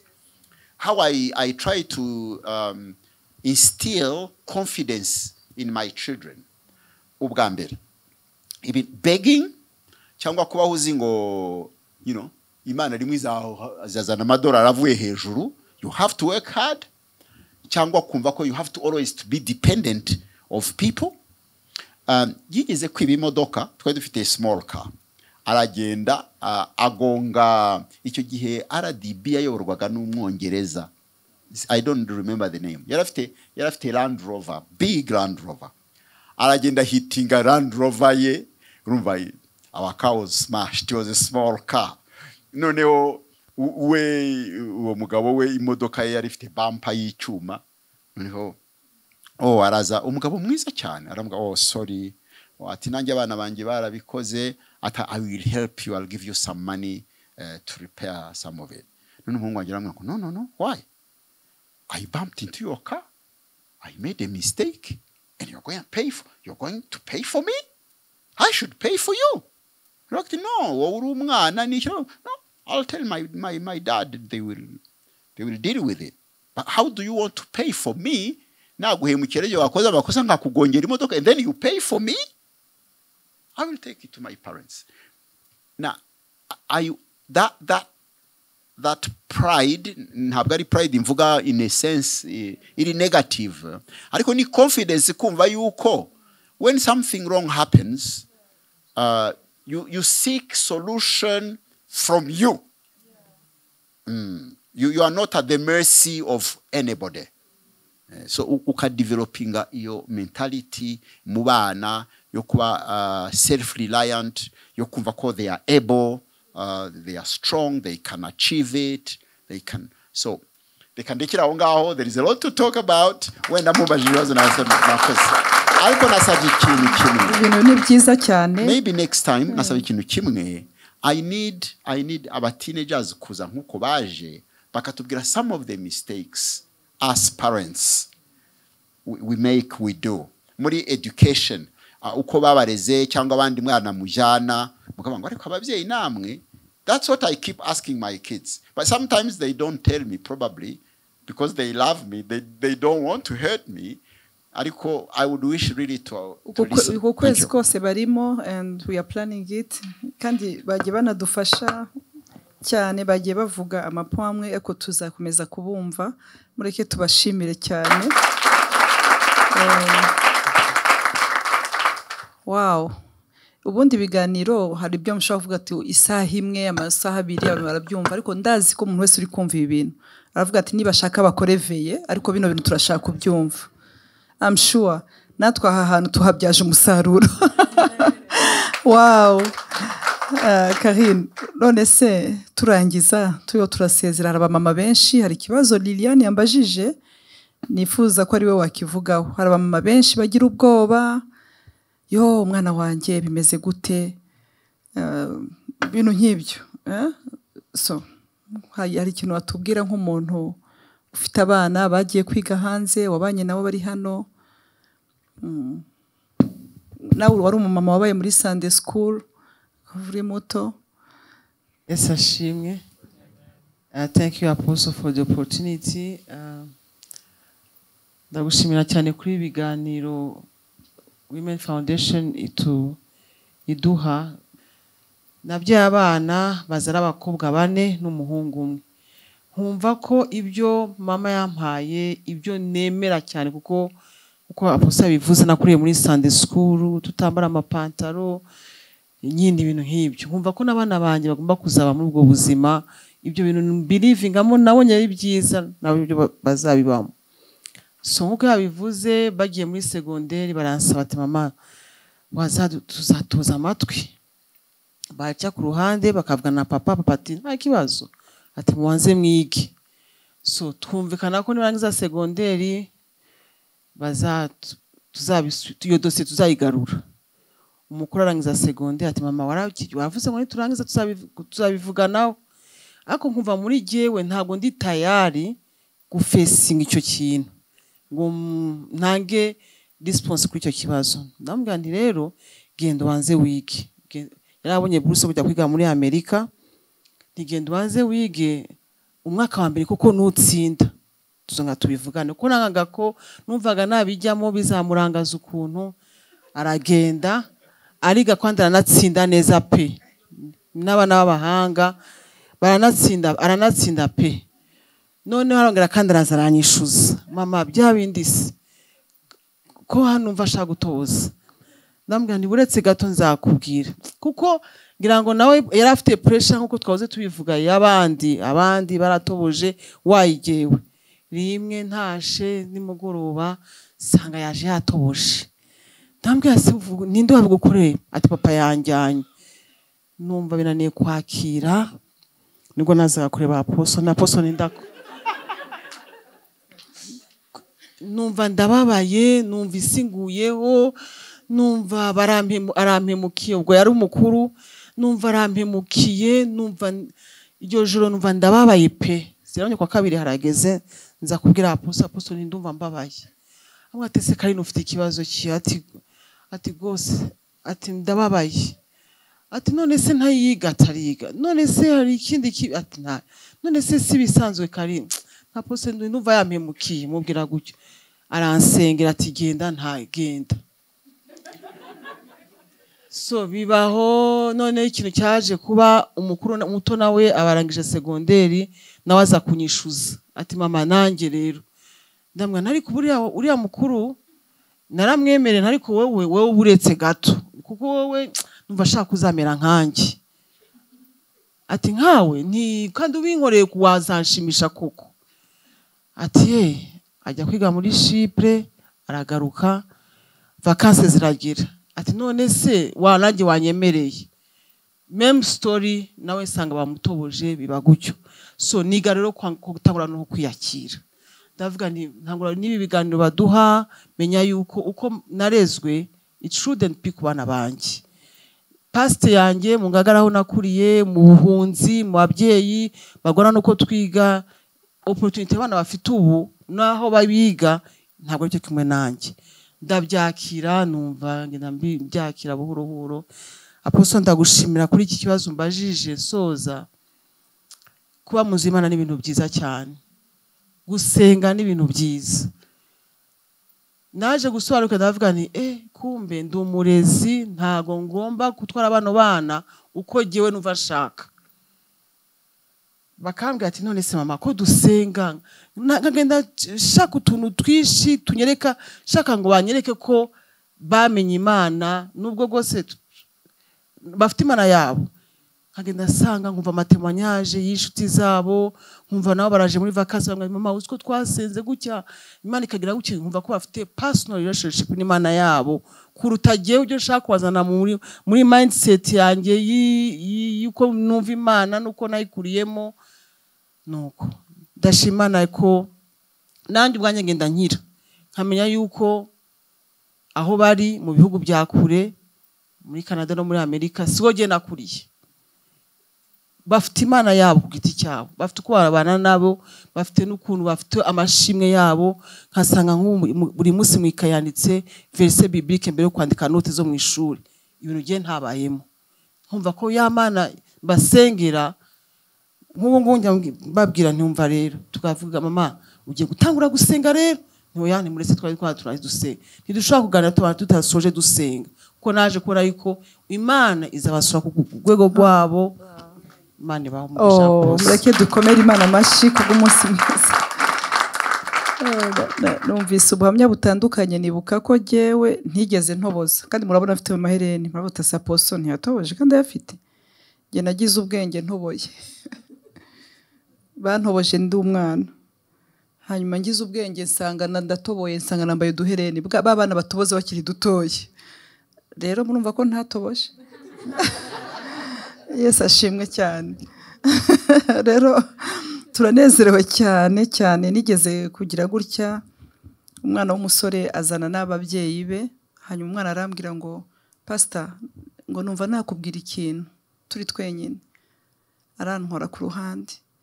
Arambwira ati ko naganiye n'abacuti banjye ariko byarananiye kubwira ababyeyi banjye wamfasha ukazantwara gukoresha circoncision. Wari umwana w'umutineca w'umuhungu ushobora kumfasha nkazajya gukoresha circoncision. Ati abana tungana mbona tutameze kimwe ku ishuri. I really want it. Nza gushakisha umumama nzi ubishoboye. N'ahantu babikora mbisaba ababyeyi be barankundira aragenda arabikora. Ariko cyari kimuremereye mu buryo bukomeye. Ikiremereye undi si cyo kikuremereye. Ariko icyo nzi cyo ni uko umuntu wese waba afite ikimuremereye icyo ari cyo cyose imana ifite umugambi mwiza kuri mwebwe. Aba bakozi b'imana bavuze ibintu bikomeye ntari busubiremo ariko hari ikintu kimwe cyamfashije nkunze kwibwira abadamu abamakupure abantu batandukanye. Ni ijambo riri mu kuva kabiri kuri nyina wa Mose. Ngo ananiwe guhora amuhisha uwo mwana we. Ngo amudodere agakapu. Ikintu njya mbwira abantu warera wakora ibintu byose ariko ntuzibagirwe agakapu agakapu karakenewe. Mose yari umwana mwiza. Ngo nyina aramureba abona ko ari mwiza. Ibaza umwana nawe apana hanze nawe ureba. Ukabona arashimishije. Hari abana ureba ukabona pe imizabibu irahiye. Ukabona ni umwana ushimishije. Ukabona umwana w'umukobwa wari harabyiruka umuhungu ari harabyiruka nawe wamureba. Igihagararo cyonyine. Ntuzi umupapa uri hariya hanze ari bubone igihagararo ugasanga umwana ufite seza ariko wamureba ukabona n'igikorwa cya vendeza uri sempatike uri hariya hanze ararunguruka. Afite ibishuko byinshi. Hari ibintu bitandukanye. Aba bana bafite innocence. Hari ibintu byo hanze batazi. Cyane cyane ko hari n'ababyeyi baporoteje over protection ugasanga hari n'ibintu abana bacu batazi. Ariko aka gakapo nyina wa Mose yakoresheje kararinda pe. Nagira inama umuntu wese ahantu yaba ari udode agakapo ako gakapo ronike ni amasengesho ni amasezerano nk'uko famiye pasiteri jean yabivugaga kugira amasezerano. Ubu koko nanjye ndabizi. Ndazi ko nta wanjye warimbuka. Wavuga uti ese wabikuye he? Nabibwiwe n'imana. Nta nabisabye. Ntarabona turi mu masengesho gutya. Irambwira ngo nta wawe uzarimbuka. Ngo jyewe uwiteka niko mvuze. Ni ukuri bene data aba bana ko bagendana ijwi aba bana twabagendanye ari bato tukaba turi mu rugo kumva ibyo dusenga bakabyumva. Pasitarize yoza nsetsa arambwira ati ariko aba bana bawe bakunda ubuhanuzi bakunda imana ivuga. Ntibakuze bumva imana ivuga so they know imana iravuga iki. Icyo kintu kameme iyo room ntabwo bashobora kuyitakaza. Kesike parle? Eh? hamwe n'ahantu hose imana iravuga iki. Nawe ugasanga nkawe ntimuza- ntimuzashake imana nk'umupfumu muzayishake. Nkagira undi mukobwa wa kabiri nanone ukunda ijambo nta bintu byo kuvuga ngo imana yavuze ntabwo yemera. Hari abantu babona bari toxic. Ngo these people baravuga ngo imana iravuze iravuze. I just i need my god. Ndashaka imana yanjye nyimenye. Hakagira undi uvuga uti no gihe byo gusoma bibiliya ntabyo nzajyamo. Mama avuga icyo imana ivuze tukimenye tukigenderemo. Yesu ashimwe cyane. Uwo nguwo rwose ntiyivuna ariko akaba azi ko imana ya mama. Ijya yica ubucuti bubi. Icyo cyo arakizi. Rimwe yegera pasitariza aramubwira ati ariko pasitariza i have a problem with my mom. U- noneho uyu muntu twihuriye abantu twamenyanye imana ya mama ntibyice ni ukuri intabare ntibigemo. Ati mama wawe ko adahari atoya sinzi ukuntu asenga gusa.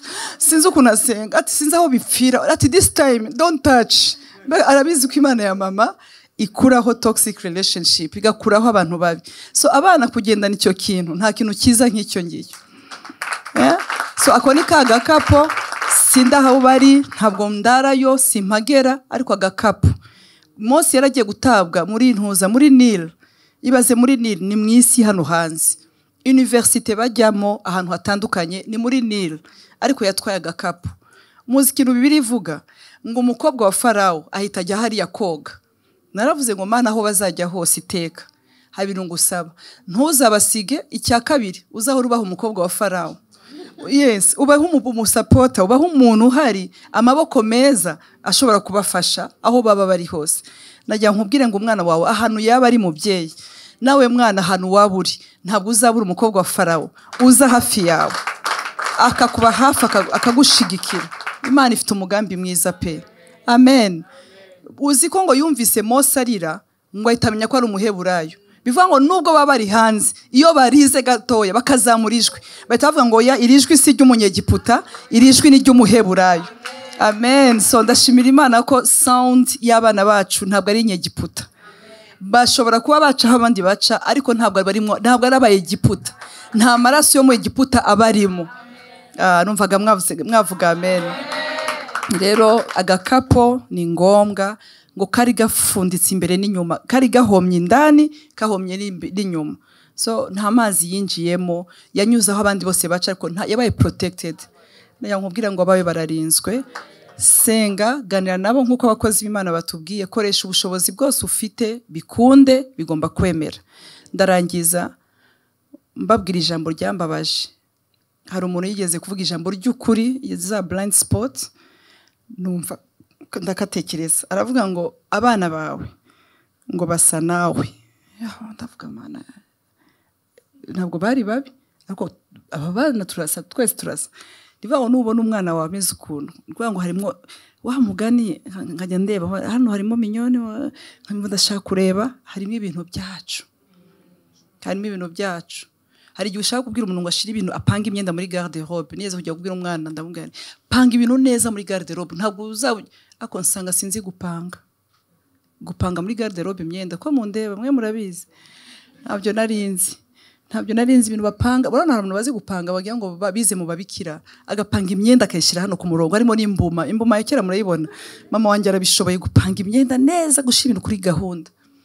Ariko mbabwije ukuri iriya sisiteme yo gupanga kuriya ntabwo nayishoboraga. Ikindi abantu bahataga ibitoki igihe nkabaganiriza. Kugira ngo ntaza guhata ibitoki.